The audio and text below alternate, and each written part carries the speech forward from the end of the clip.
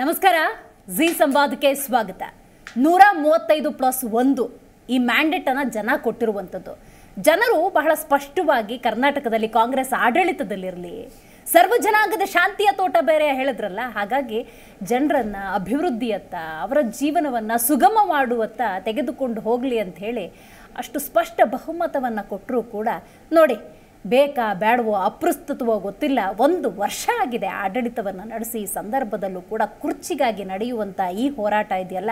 ಇದಕ್ಕೂ ಕೂಡ ಇದು ಅಕ್ಷಮ್ಯ ಅಪರಾಧ ಅಂತಲೇ ಹೇಳ್ಬೋದು. ಕಾರಣ ಇಷ್ಟೇ, ಹಲವು ಬಿ ಜೆ ಪಿ ನಾಯಕರು ಇದ್ರ ಬಗ್ಗೆ ಆಗಾಗ ಮಾತಾಡ್ತಾ ಇರ್ತಾರೆ. ವಿಷಯ ಇಷ್ಟೇ ನೋಡಿ. ನಾವು ಸರ್ಕಾರವನ್ನು ಬೀಳಿಸುವಂತಹ ಗೋಜಿ ಕೈ ಹಾಕೋದೇ ಇಲ್ಲ. ಕಾರಣ ಕಾಂಗ್ರೆಸ್ನ ಒಳಗಿರುವಂತಹ ಒಳಬೇಗುದಿಯೇ ಸಾಕು, ಕಾಳಗವೇ ಸಾಕು ಈ ಸರ್ಕಾರ ಬೀಳೋದಕ್ಕೆ ಅಂತ. ಯಾಕೆ ಈಗ ಯಾಕೆ ಈ ವಿಷಯವನ್ನು ಮಾತಾಡ್ತಿದ್ದೀವಿ ಅಂದರೆ ಆ ಕುರ್ಚಿ ಇದೆ ನೋಡಿ. ಸಿ ಎಂ ಸ್ಥಾನ ಅನ್ನುವಂತಹ ಸ್ಥಾನ ಇದೆ ನೋಡಿ. ಅದು ಈ ರೀತಿಯ ಒಂದಷ್ಟು ಚರ್ಚಾ ವಿಷಯವನ್ನಾಗಿ ಮಾಡ್ತಾ ಇದೆ. ನೋಡಿ, ರಾಜ್ಯದಲ್ಲಿ ಆಗಾಗ ಡಿ ಸಿ ಎಂ ಹುದ್ದೆಯ ಸೃಷ್ಟಿಯಾಗಬೇಕು ಅಂತ ಹೇಳಿ ಸಿದ್ದರಾಮಯ್ಯ ಬಣದವರು ಮಾತಾಡ್ತಾರೆ. ಡಿ ಕೆ ಶಿವಕುಮಾರ್ ಅವರು ನೇರವಾಗಿ ಬಂದು ಯಾರೂ ಕೂಡ ಇದರ ಬಗ್ಗೆ ಚಕಾರ ಎತ್ತಬಾರ್ದು, ಏನೇ ಇದ್ರೂ ಕೂಡ ಹೈಕಮಾಂಡ್ ಮಾತಾಡುತ್ತೆ. ಡಿ ಕೆ ಸುರೇಶ್ ಅವರು ಆಗಾಗ ಬಂದು ಮಾತಾಡ್ತಾರೆ. ನೋಡಿ, ಇದು ಪಕ್ಷ ತೀರ್ಮಾನ ಮಾಡುತ್ತೆ. ಸಿ ಎಂ ಆಗಬೇಕು ಅಂತ ಯಾರಿಗೆ ಆಸೆ ಇರೋದಿಲ್ಲ. ಖಂಡಿತವಾಗ್ಲೂ ನಮ್ಮ ಕುಟುಂಬದಲ್ಲೂ ಅಂತ ಆಸೆ ಆಕಾಂಕ್ಷೆಗಳಿದ್ದಾವೆ. ಅದೇನಿದ್ರು ಕೂಡ ಹೈಕಮಾಂಡ್ನ ತೀರ್ಮಾನ.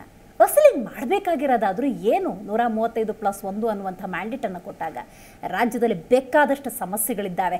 ಇವರ ಕಾಳಗವನ್ನು ನೋಡೋದಕ್ಕೆ, ಒಳಬೇಗುದಿಯನ್ನು ನೋಡೋದಕ್ಕೆ, ಶೀತಲ ಸಮರವನ್ನು ನೋಡೋದಕ್ಕಲ್ಲ ಈ ಮ್ಯಾಂಡೇಟನ್ನು ಕೊಟ್ಟಿರುವಂಥದ್ದು. ಹಾಗಾಗಿ ಇವತ್ತಿನ ನಮ್ಮ ಚರ್ಚಾ ಕಾರ್ಯಕ್ರಮದಲ್ಲಿ ಅಸಲಿಗೆ ಕಾಂಗ್ರೆಸ್ನಲ್ಲಿ ಏನಾಗ್ತಾ ಇದೆ? ಮಾಡಬೇಕಾಗಿರುವಂಥ ಜವಾಬ್ದಾರಿಯನ್ನು ಇದೆಲ್ಲದರ ಬಗ್ಗೆ ಸವಿಸ್ತಾರವಾಗಿ ಮಾತಾಡೋಣ. ನಾನು ದಿವ್ಯಶ್ರೀ.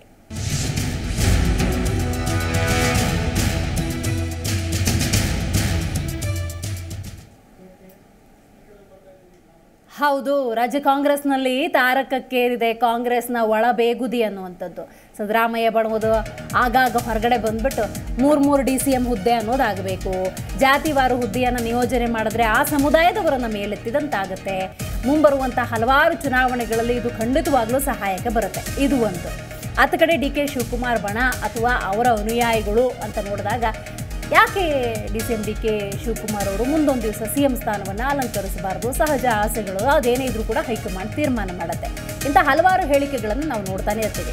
ಕೈ ನಾಯಕರ ಮಧ್ಯೆ ಭುಗಿಲೆದ್ದಿದೆ ಭಿನ್ನಾಭಿಪ್ರಾಯ. ಹೆಚ್ಚುವರಿ ಡಿ ಸಿ ಎಂ ಜೊತೆ ಸಿಎಂ ಬದಲಾವಣೆಯ ಫೈಟ್ ಕೂಡ ನಡೀತಾ ಇದೆ. ಅಧ್ಯಕ್ಷರ ಎಚ್ಚರಿಕೆಗೂ ಬಗ್ಗದೆ ನಾಯಕರು ಹೇಳಿಕೆಯನ್ನು ಬಹಿರಂಗವಾಗಿ ನೀಡ್ತಾ ಇದ್ದಾರೆ. ಅಧ್ಯಕ್ಷ ಸ್ಥಾನಕ್ಕೆ ಹಾಗಾದರೆ ಡಿ ಕೆ ಶಿವಕುಮಾರ್ ರಾಜೀನಾಮೆಯನ್ನು ಕೊಡ್ತಾರಾ? ಸಿಎಂ ಸ್ಥಾನಕ್ಕಾಗಿ ಡಿ ಕೆ ಶಿವಕುಮಾರ್ ಹೊಸದೊಂದು ಸರ್ಕಸ್ ಅನ್ನ ಶುರು ಮಾಡಿದ್ದಾರೆ.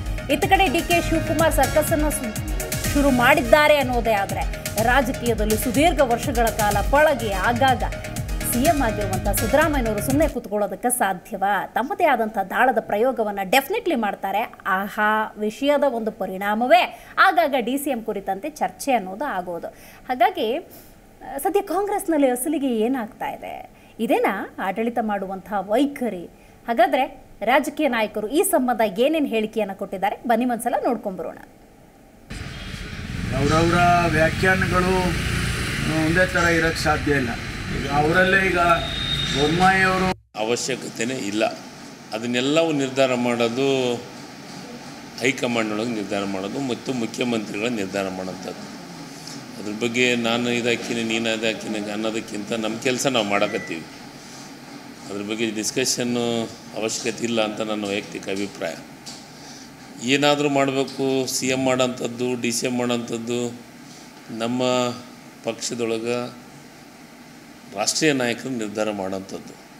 ಅದ್ರ ಬಗ್ಗೆ ಚರ್ಚೆ ಮಾಡೋದು ಅವಶ್ಯಕತೆ ಇಲ್ಲ.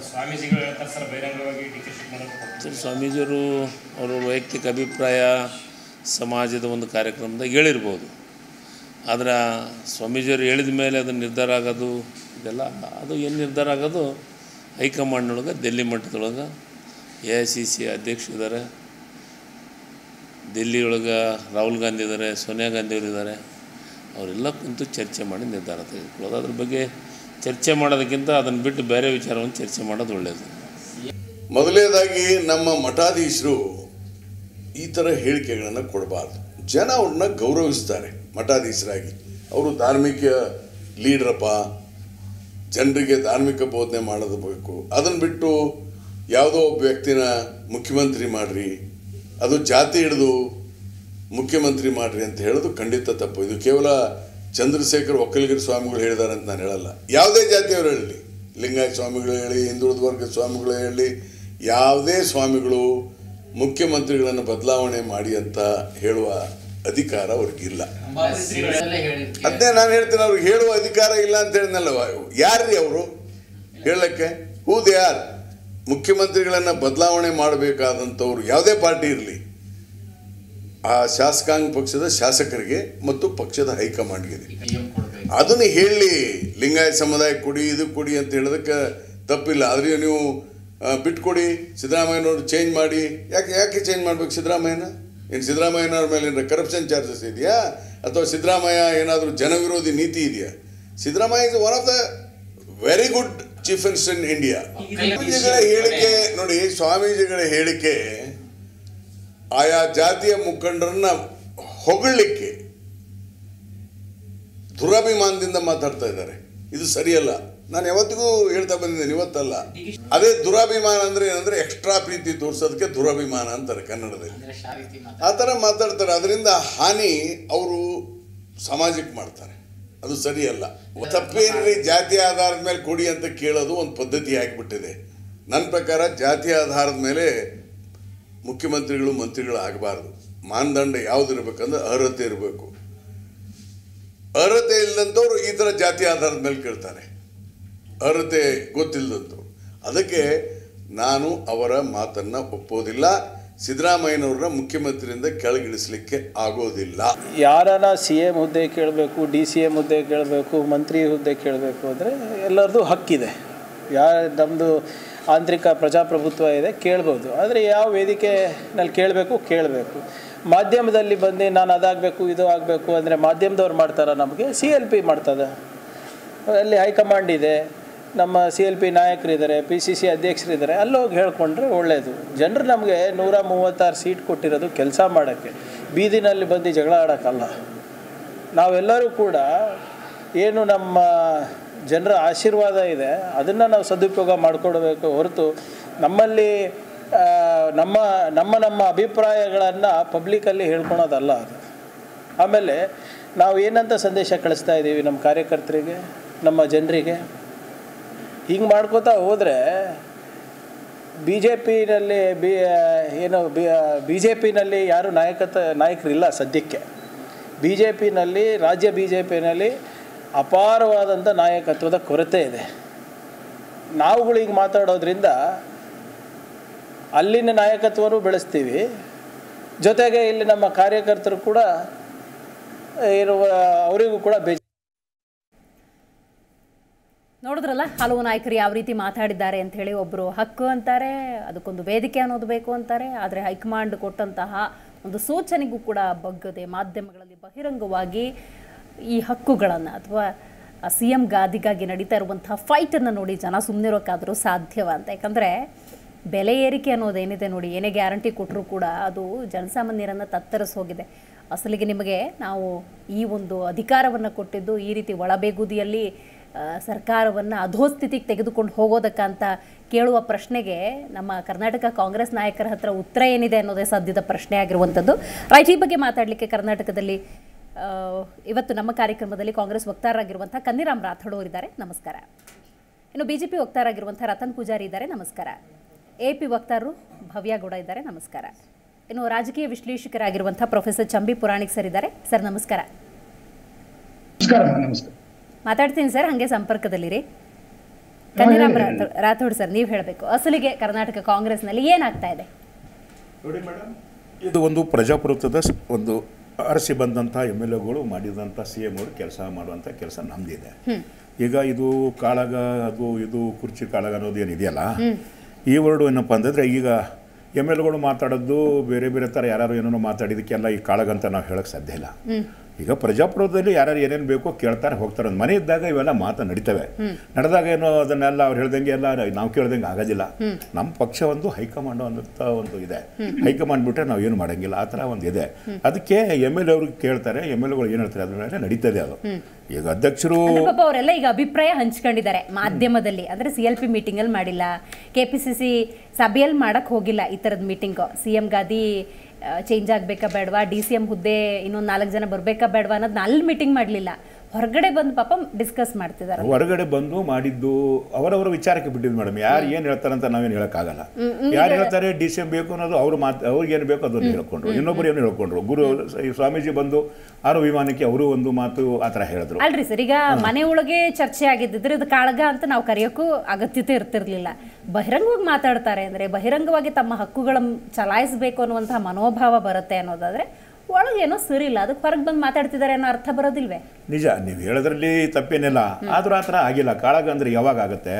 ಒಂದು ಒಂದು ವೇದಿಕೆಯಲ್ಲಿ ಇರಬೇಕು. ಇಲ್ಲ ಒಂದು ಕೆ ಪಿ ಸಿ ಸಿ ಮೀಟಿಂಗಲ್ಲಿ ನಡಿಬೇಕು. ಇಲ್ಲಪ್ಪ ಅದು ಇನ್ನೊಂದು ಫ್ಲೋರ್ ಟೆಸ್ಟಲ್ಲಿ ಮಾಡುವಂಥದ್ದು ಏನಿದ್ರೆ ಅದು ಕಾಳಾಗ್ತದೆ ಇದು ಕಾಳಗಲ್ಲ. ಅಲ್ಲಲ್ಲಿ ಅವ್ರಿಗೆ ಏನೇನು ಬೇಕೋ ಹೇಳ್ಕೊಂಡಿದ್ದಾರೆ. ಅದನ್ನು ಅಂತ ಸೀರಿಯಸ್ ತಗೊಳ್ಳುವಂಥದ್ದು ಸರ್ಕಾರ ಇಲ್ಲಿ ಊರಲ್ಲ ಇದು ಬೇರೆ ಕಡೆ ಹೋಗ್ತದೆ ಯಾರೋ ಬರ್ತಾರೆ ಯಾರೋ ಎಂ ಎಲ್ ಹೋಗ್ತದೆ ಇದೆಲ್ಲ ಸುಳ್ಳು ಯಾವುದು ಏನು ಆಗೋದಿಲ್ಲ. ನಾವು ನೂರ ಮೂವತ್ತಾರು ಎಂ ಎಲ್ ಎಗಳನ್ನು ಪಡ್ಕೊಂಡು ಇವತ್ತು ಅಧಿಕಾರ ನಡೆಸ್ತಾ ಇದ್ದೀವಿ ಪಂಚ ಗ್ಯಾರಂಟಿಗಳನ್ನು ಕೊಡಬೇಕು. ಅದು ಏನೇ ಇರಲಿ ನಮಗೆ ಸೀಟ್ ಬರುತ್ತೋ ಬಿಡುತ್ತೋ ಲೋಕಸಭೆಯಲ್ಲಿ ಸೀಟ್ ಬರಬೇಕು ನಾವು ಮಾಡಿಲ್ಲ. ನಮಗೆ ಜನರಿಗೆ ಹೆಲ್ಪ್ ಆಗಬೇಕು ಸಹಾಯ ಆಗಬೇಕು ಅನ್ನೋ ದೃಷ್ಟಿಯಿಂದ ಇದು ಒಂದು ಸರ್ಕಾರ ನಮ್ಗೆ ಕೊಟ್ಟಿದ್ದ ಕೆಲಸನೂ ಮಾಡ್ತಾ ಹೋಗ್ತೀವಿ ರೈಟ್ ರೈಟ್ ರತನ್ ಅವರೇ ಪಿಯ ಬಹುತೇಕ ನಾಯಕರ ಆಗಾಗ ಒಂದು ಸ್ಟೇಟ್ಮೆಂಟ್ ಕೊಡ್ತಾ ಇರ್ತಾನೆ ಅದನ್ನು ನಾನು ರಿಕಾಲ್ ಮಾಡ್ತಾ ಇದ್ದೀನಿ. ಈ ಸರ್ಕಾರ ಬೀಳೋದಕ್ಕೆ ಬಿ ಜೆ ಪಿ ಏನು ಶ್ರಮ ಹಾಕಬೇಕಾಗಿಲ್ಲ ಮೈತ್ರಿ ಪಕ್ಷ ಏನು ಶ್ರಮ ಹಾಕಬೇಕಾಗಿಲ್ಲ ಈ ವೇಳ ಒಳ ಬೇಗುದಿಯೇ ಸಾಕ ತಾನೇ ಬಿದ್ದು ಹೋಗ್ಬಿಡತ್ತೆ ಅಂತ. ಹೌದಾ? ಆ ಥರದ ಪರಿಸ್ಥಿತಿ ಈಗಲೂ ಇದೆಯಾ? ಮೇಡಮ್ ಮೊದಲನೇದಾಗಿ ಇವತ್ತು ರಾಹುಲ್ ಗಾಂಧಿ ಅವರು ಸಂಸತ್ತಿನಲ್ಲಿ ಮಾತಾಡ್ತಾ ಹಿಂದೂಗಳು ಹಿಂಸಾವಾದಿಗಳು ಅಂತ ಒಂದು ಸ್ಟೇಟ್ಮೆಂಟ್ ಕೊಟ್ಟಿದ್ದರು ಅದನ್ನು ನಾನು ಕಡಾಖಂಡಿತವಾಗಿ ಖಂಡಿಸ್ತೇನೆ ಹಾಗೂ ರಾಹುಲ್ ಗಾಂಧಿ ಅವರು ಹಾಗೂ ಕಾಂಗ್ರೆಸ್ ಕರ್ನಾಟಕ ಕಾಂಗ್ರೆಸ್ ಸೇರಿ ಅವರ ನಿಲುವನ್ನು ಮತ್ತೊಮ್ಮೆ ಸ್ಪಷ್ಟಪಡಿಸಬೇಕು ಹಾಗೂ ಅದಕ್ಕೆ ಹಿಂದೂಗಳೆಂಬ ಹಿಂದೂಗಳ ಕ್ಷಮೆ ಕೇಳಬೇಕು ಅಂತ ಫಸ್ಟ್ ಕೇಳ್ತೀನಿ. ನಂಬರ್ ಒನ್ ಕರ್ನಾಟಕದಲ್ಲಿ ಏನಾಗಿದೆ ಅಂತ ಹೇಳಿದರೆ ಕಾಂಗ್ರೆಸ್ ಸರ್ಕಾರಕ್ಕೆ ಬಹುಮತ ಇದೆ ಆದರೆ ವಿಶ್ವಾಸ ಮತ ಇಲ್ಲ. ಬಹುಮತ ಇದೆ ವಿಶ್ವಾಸ ಮತ ಇಲ್ಲ ಆ ಥರ ಆಗಿದೆ. ಆದ್ದರಿಂದಾಗಲೇ ಅವರು ತಮ್ಮಲ್ಲೇ ತಮ್ಮ ತಮ್ಮಲ್ಲೇ ಕಚ್ಚಾಟ ಮಾಡ್ಕೊತಾ ಇದ್ದಾರೆ ಬಣ ಬಣ ರಾಜಕೀಯ ಮಾಡ್ತಾ ಇದ್ದಾರೆ. ವಕ್ತಾರರು ಹೇಳ್ಬೋದು ಏನೂ ಇಲ್ಲ ಅವರು ಸುಮ್ಮ ಸುಮ್ಮನೆ ಸ್ಟೇಟ್ಮೆಂಟ್ ಕೊಡ್ತಿದ್ದಾರೆ ಅಂತ ಹೇಳ್ಕೊಂಡು. ಆದರೆ ನೋಡಿ ಒಂದೊಂದು ಬಣಗಳು ಕಳೆದ ಒಂದು ವರ್ಷದಲ್ಲಿ ಇವರಿಗೆ ಸರ್ಕಾರ ಸಿಕ್ಕಿದ ನಂತರ ಇವರು ಮಾಡಿದ ಕೆಲಸಗಳನ್ನ ಪಟ್ಟಿ ಹಾಕೋಕೆ ಹೋದರೆ ಒಂದಿಷ್ಟು ಗ್ಯಾರಂಟಿಗಳ ಬಿಟ್ಟರೆ ಅದನ್ನು ಗ್ಯಾರಂಟಿ ಸರಿಯಾಗಿ ತಲುಪಿಸಿಲ್ಲ. ಬಿಟ್ಟರೆ ಬೇರೆ ಏನು ಕೆಲಸ ಮಾಡಿದ್ದಾರೆ ಅಂತ ಕೇಳಿದರೆ ಇವ್ರ ಹತ್ರ ಆನ್ಸರ್ ಇಲ್ಲ. ಆದರೆ ಒಂದು ವರ್ಷದಲ್ಲಿ ಸುಮಾರು ನಾಲ್ಕೈದು ಬಾರಿ ಈ ಬಣ ಬಣ ಕಚ್ಚಾಟಗಳು ಹೊರಗಡೆ ಹೊರಗಡೆ ಬಂದಿದೆ. ಆಯ್ತಾ? ಮೊದಲೇ ಸರಿ ಪರಮೇಶ್ವರ್ ಅವರ ಮನೆಯಲ್ಲಿ ಒಂದು ಮೀಟಿಂಗ್ ಆಯಿತು. ಅದಾದ ನಂತರ ಹರಿಪ್ರಸಾದ್ ಅವರು ಹೊರಗಡೆ ಬಂದು ಅವರದ್ದೊಂದು ಬಣದ ಇದು ಮಾತುಕತೆಗಳಾಯಿತು. ಅದಾದ ನಂತರ ಸಿದ್ದರಾಮಯ್ಯನವ್ರ ಬಣ ಡಿ ಕೆ ಶಿವಕುಮಾರ್ ಅವ್ರ ಬಣ ಇನ್ನು ಹೈಕಮಾಂಡ್ದು ಅದೊಂದು ಬಣ. ಅದಾದ ನಂತರ ಆವಾಗ ಆವಾಗ ಜಮೀರ್ ಅಹಮದ್ ಖಾನ್ ಬಂದು ಕೊಡುವಂಥ ಸ್ಟೇಟ್ಮೆಂಟ್ಗಳಿರ್ಬೋದು. ಸತೀಶ್ ಜಾರಕಿಹೊಳಿ ಅವರು ಬಸ್ಸಲ್ಲಿ ಹೋಗಿದ್ದಿರ್ಬೋದು. ನೋಡಿ ಒಂದು ವರ್ಷದಲ್ಲಿ ಇವರು ಸರ್ಕಾರವನ್ನು ನಡೆಸೋದ್ರ ಮೊದ್ ಬದಲು ಬರೀ ಇದನ್ನೇ ಮಾಡಿದ್ದಾರೆ. ಮೇಡಮ್ ಕರ್ನ ಇವಾಗ ಕರ್ನಾಟಕದಲ್ಲಿ ಪರಿಸ್ಥಿತಿ ನೋಡಿ ನೀವು. ಡೆಂಗು ಮಿತಿಮೀರಿ ಹಾವಳಿ ಕೊಡ್ತಾ ಇದೆ. ಕಲುಷಿತ ನೀರಿನಿಂದಾಗಿ ಹಲವಾರು ಅಮಾಯಕರು ಪ್ರಾಣ ಕಳ್ಕೊತಾ ಇದ್ದಾರೆ. ಆನಂತರ ಇದು ಕುಡಿಯುವ ನೀರಿನ ಸಮಸ್ಯೆ ಎಲ್ಲೆಂದರಲ್ಲಿ ತಾಂಡವವಾಡ್ತಾ ಇದೆ. ಅಂಥದ್ರಲ್ಲಿ ಇವರು ರಾಜ್ಯದ ಒಂದು ಜನರ ಒಂದು ಅಭಿವೃದ್ಧಿ ಜನರ ಬಗ್ಗೆ ಯೋಚನೆ ಮಾಡಬೇಕಾದವರು, ಇವತ್ತು ಇವರು ಮಾಡ್ತಿರೋದೇನು? ಬರೀ ಬಣ ಬಣ ಕಚ್ಚಾಟ, ನಾನ್ ಸಿ ಎಂ ಆಗಬೇಕು, ನಾನ್ ಡಿ ಸಿ ಎಂ ಆಗಬೇಕು, ಡಿ ಸಿ ಎಂ ಜಾಸ್ತಿ ಆಗಬೇಕು, ಬರೀ ಇದೇ ಆಗಿ ಹೋಗಿದೆ ಇವರದ್ದು. ಆಯಿತು ಜ ರಾಜ್ಯದ ಜನ ಒಂದು ಹೋಪ್ ಇಟ್ಕೊಂಡು ಇವರಿಗೆ ನೂರ ಮೂವತ್ತಾರು ಸೀಟ್ ಕೊಟ್ಟಿದ್ರು. ಸ್ವತಃ D C M D K Shivakumar ಅವರೇ ಬಂದ್ಬಿಟ್ಟು ಸ್ವಾಮೀಜಿಯವರ ಇಂಟರ್ಫಿಯರೆನ್ಸ್ ಅಷ್ಟು ಚೆನ್ನಾಗಿರೋದಿಲ್ಲ. ಸ್ವಾಮೀಜಿಯವರಿಗೆ ಪಾಪ ನನ್ನ ಮೇಲೆ ಪ್ರೀತಿ ಗೌರವ ಇರುತ್ತೆ. ಅದರಿಂದ ಅವರು ಆ ಥರ ಹೇಳಿದ್ದಾರೆ. ಇಂಥದ್ದೆಲ್ಲ ಯಾರೂ ಕೂಡ ಮಾಡಬಾರ್ದು. ಸಚಿವರೇ ಇರ್ಬೋದು ಶಾಸಕರೇ ಇರ್ಬೋದು. ಕಟ್ಟುನಿಟ್ಟಿನ ಕ್ರಮ ತೆಗೆದುಕೊಳ್ಬೇಕಾಗತ್ತೆ ಅಂತ ಮಾನ್ಯ ಉಪಮುಖ್ಯಮಂತ್ರಿಗಳೇ ಹೇಳಿದ್ರು. ಯಾಕೆ ಜೆ ಬಿಜೆಪಿ ಅಕ್ಸೆಪ್ಟ್ ಮಾಡಲ್ಲ? ನೋಡಿ ಮೇಡಮ್ ಎಲ್ಲ ಸ್ವಾಮೀಜಿಗಳಿಗೂ ಅವರವರ ಸಮುದಾಯದ ಬಗ್ಗೆ ಅವರವರ ಸಮುದಾಯದ ನಾಯಕರ ಬಗ್ಗೆ ಮಾತಾಡುವ ಮಾತಾಡುವಂಥ ಸಹಜ ಹಾಗೂ ಅದರ ಹಕ್ಕಿದೆ. ಅದರ ಬಗ್ಗೆ ಅದನ್ನು ನಾವೇನು ಅದರ ಬಗ್ಗೆ ಏನು ಮಾತಾಡೋಕ್ಕಾಗಲ್ಲ. ಅದನ್ನು ಪಕ್ಕಕ್ಕಿಟ್ಟು ಹೇಳಬೇಕಂತ ಹೇಳಿದರೆ ರಾಜ್ಯದ ಜನ ಇವರಿಗೆ ನೂರ ಮೂವತ್ತಾರು ಸೀಟು ಕೊಟ್ಟಿರುವಂಥದ್ದು. ಅವ್ರಿಗೆ ಇವರಿಗೆ ಕರ್ಟೆಸಿ ಇರಬೇಕು. ಅವರು ನೂರ ಮೂವತ್ತಾರು ಸೀಟು ಕೊಟ್ಟು ನಂಬಿಕೆಯಿಂದ ಹೋಪ್ನಿಂದಾಗಿ ಇವ್ರ ಮೇಲೆ ಒಂದು ಅಧಿಕಾರವನ್ನು ಕೊಟ್ಟಿದ್ದಾರೆ ಅಂತ ಹೇಳಿದ್ರೆ ಅವರ ಸೇವೆಯನ್ನು ಮಾಡುವಂಥ ಕೆಲಸ ಇವರು ಮಾಡಬೇಕಾಗಿತ್ತು. ಆದರೆ ನಾನು ಹೇಳಿದೆ ಅಭಿವೃದ್ಧಿ ಕಾರ್ಯಗಳು ನಡೀತಾ ಇಲ್ಲ. ಜನರ ಒಂದು ಕಾಳಜಿನೂ ಇಲ್ಲ ಇವರಿಗೆ. ಆನಂತರ ಬೆಲೆ ಏರಿಕೆ ಯಾವ ತರ ಹೌದು. ಯಾವಾಗಂದ್ರೆ ಆವಾಗ ಮೊನ್ನೆ ಹಾಲಿನ ಬೆಲೆ ಏರಿಕೆ ಮಾಡಿದ್ರು ಅದೇ ಹಿಂದೆ ಪೆಟ್ರೋಲು ಡೀಸೆಲ್ ಮಾಡಿದ್ರು ಅದಕ್ಕಿಂತ ಹಿಂದೆ ಸ್ಟ್ಯಾಂಪ್ ಡ್ಯೂಟಿ ಮಾಡಿದ್ರು ಅದಕ್ಕಿಂತ ಹಿಂದೆ ಇದು ಬಿತ್ತನೆ ಬೀಜ. ರೈತರು ಬಳಸುವಂಥ ಬಳಸುವಂತ ಬಿತ್ತನೆ ಬೀಜ ಅದನ್ನೂ ಬಿಟ್ಟಿಲ್ಲ ಇವರು. ಆಯ್ತಾ? ಇನ್ನೂ ಹುಡುಕ್ತಾ ಇದ್ದಾರೆ ಇರಬೇಕು ಯಾವುದನ್ನ ಇದು ಬೆಲೆ ಏರಿಸೋದಂತ. ಅಂಥದ್ರಲ್ಲಿ ಇವರು ಬಣ ಬಣ ಕಚ್ಚಾಟ ಮಾಡಿಕೊಂಡು, ಆನಂತರ ಭ್ರಷ್ಟಾಚಾರಗಳನ್ನೇ ನೀವು ಒಂದು ಒಂದು ಒಂದು ಕಡೆಯಿಂದ ನೋಡಿ. ವಾಲ್ಮೀಕಿ ಹಗರಣದಾಯಿತು, ಇವತ್ತು ಯಾವುದೋ ಮೂಡ ಅಂತ ಹೇಳ್ಕೊಂಡು ಅದೊಂದು ಭ್ರಷ್ಟಾಚಾರ ನಡೀತಾ ಇದೆ. ಹಿಂದೆ ಯಾವುದೋ ಒಂದು ಮಯೂರ ಬಾಲಭವನ ಭ್ರಷ್ಟಾಚಾರ ಅಂತೆ, ಪ್ರವಾಸೋದ್ಯಮ ಭ್ರಷ್ಟ ಭ್ರಷ್ಟಾಚಾರ ಅಂತೆ, ಅದಕ್ಕಿಂತ ಹಿಂದೆ ವೈ ಎಸ್ ಟಿ ಟ್ಯಾಕ್ಸ್ ಅಂತೆ. ನೋಡಿ, ಒಂದು ವರ್ಷದಲ್ಲಿ ಬರೀ ಭ್ರಷ್ಟಾಚಾರ ಆಯಿತು ಬಣ ಕಚ್ಚಾಟ ಆಯಿತು ಆನಂತರ ಬೆಲೆ ಏರಿಕೆ ಆಯಿತು. ಈ ರಾಜ್ಯದ ಜನ ಇವ್ರಿಗೆ ಯಾಕಾದರೂ ಸರ್ಕಾರ ಕೊಟ್ಟುವಪ್ಪ ಅಂತ ಹೇಳ್ಕೊಂಡು ಹಿಡೀ ಶಾಪ ಹಾಕ್ತಾ ಇದ್ದಾರೆ. ಅಷ್ಟೇ ಅಲ್ಲ, ಇವರ ಬಣಬಣ ಬಣ ಕಚ್ಚಾಟದ ಮಧ್ಯೆ ಜನ ಅಪ್ಪಚ್ಚಿಯಾಗಿದ್ದಾರೆ. ಇದೇ ಸಮಯದಲ್ಲಾದರೂ ನಾನು ಈವಾಗಲೇ ಬೇಕಾದ್ರೆ ಚಾಲೆಂಜ್ ಮಾಡ್ತೀನಿ. ಇದೇ ಸಮಯದಲ್ಲೆಲ್ಲಾದರೂ ಚುನಾವಣೆ ನಡೆದರೆ ಇವರಿಗೆ ಮೂವತ್ತಕ್ಕಿಂತ ನಲವತ್ತು ಮೂವತ್ತರಿಂದ ನಲವತ್ತಕ್ಕಿಂತ ಜಾಸ್ತಿ ಸೀಟು ಬರಲಿಕ್ಕೆ ಸಾಧ್ಯ ಇಲ್ಲ. ಅಷ್ಟೊಂದು- ಸಾವಿರದ ಇಪ್ಪತ್ತ್ ಮೂರರ ಅಷ್ಟೊಂದು ಭ್ರಮ ನಿರಸನ ಚುನಾವಣೆಯಲ್ಲಿ ಈ ಓವರ್ ಕಾನ್ಫಿಡೆನ್ಸ್ ಅಂದ್ರೆ ಅರವತ್ತಾರಕ್ಕೆ ಇಳಿದಿದ್ದು. ಅಷ್ಟೊಂದು ಜನ ಭ್ರಮ ನಿರಸನ ನಿರಸನಗೊಂಡಿದ್ದಾರೆ. ಇದು ನಾನು ಹೇಳ್ತಾ ಇರೋದಲ್ಲ ಜನ ಹೇಳ್ತಿದ್ದಾರೆ. ಬೇಕಾದ್ರೆ ನೀವು. ಸರ್ವೆ ಮಾಡಿ. ನೀವು. ಮಾಧ್ಯಮದಲ್ಲಿದ್ದೀರಿ. ಸರ್ವೆ ಮಾಡಿ. ಆವಾಗ ಅರವತ್ತಾರು ಬಂತು ಅದೆಲ್ಲ ಇತಿಹಾಸ. ಇತಿಹಾಸವನ್ನ ನಾನು ಜಾಸ್ತಿ ಪೋಸ್ಟ್ ಮಾರ್ಟಮ್ ಮಾಡಕ್ ಹೋಗಲ್ಲ. ಆಯ್ತಾ? ನಮ್ದು ಹಲವಾದ್ರು ಮಿಸ್ಟೇಕ್ ಗಳನ್ನ ಜನ ಮನಗಂಡಿರ್ಬೋದು ನಮ್ಮನ್ನ ವಿರೋಧ ಪಕ್ಷದಲ್ಲಿ ಕುಳಿಸಿರ್ಬೋದು. ಆದ್ರೆ ಇವರು ಫೋರ್ಟಿ ಪರ್ಸೆಂಟ್ ಸರ್ಕಾರ ಅಂತ ಹೇಳಿದ್ರಲ್ಲ ಒಂದು ವರ್ಷದಲ್ಲಿ ಏನಾದ್ರೂ ತೋರಿಸಿದ್ರ?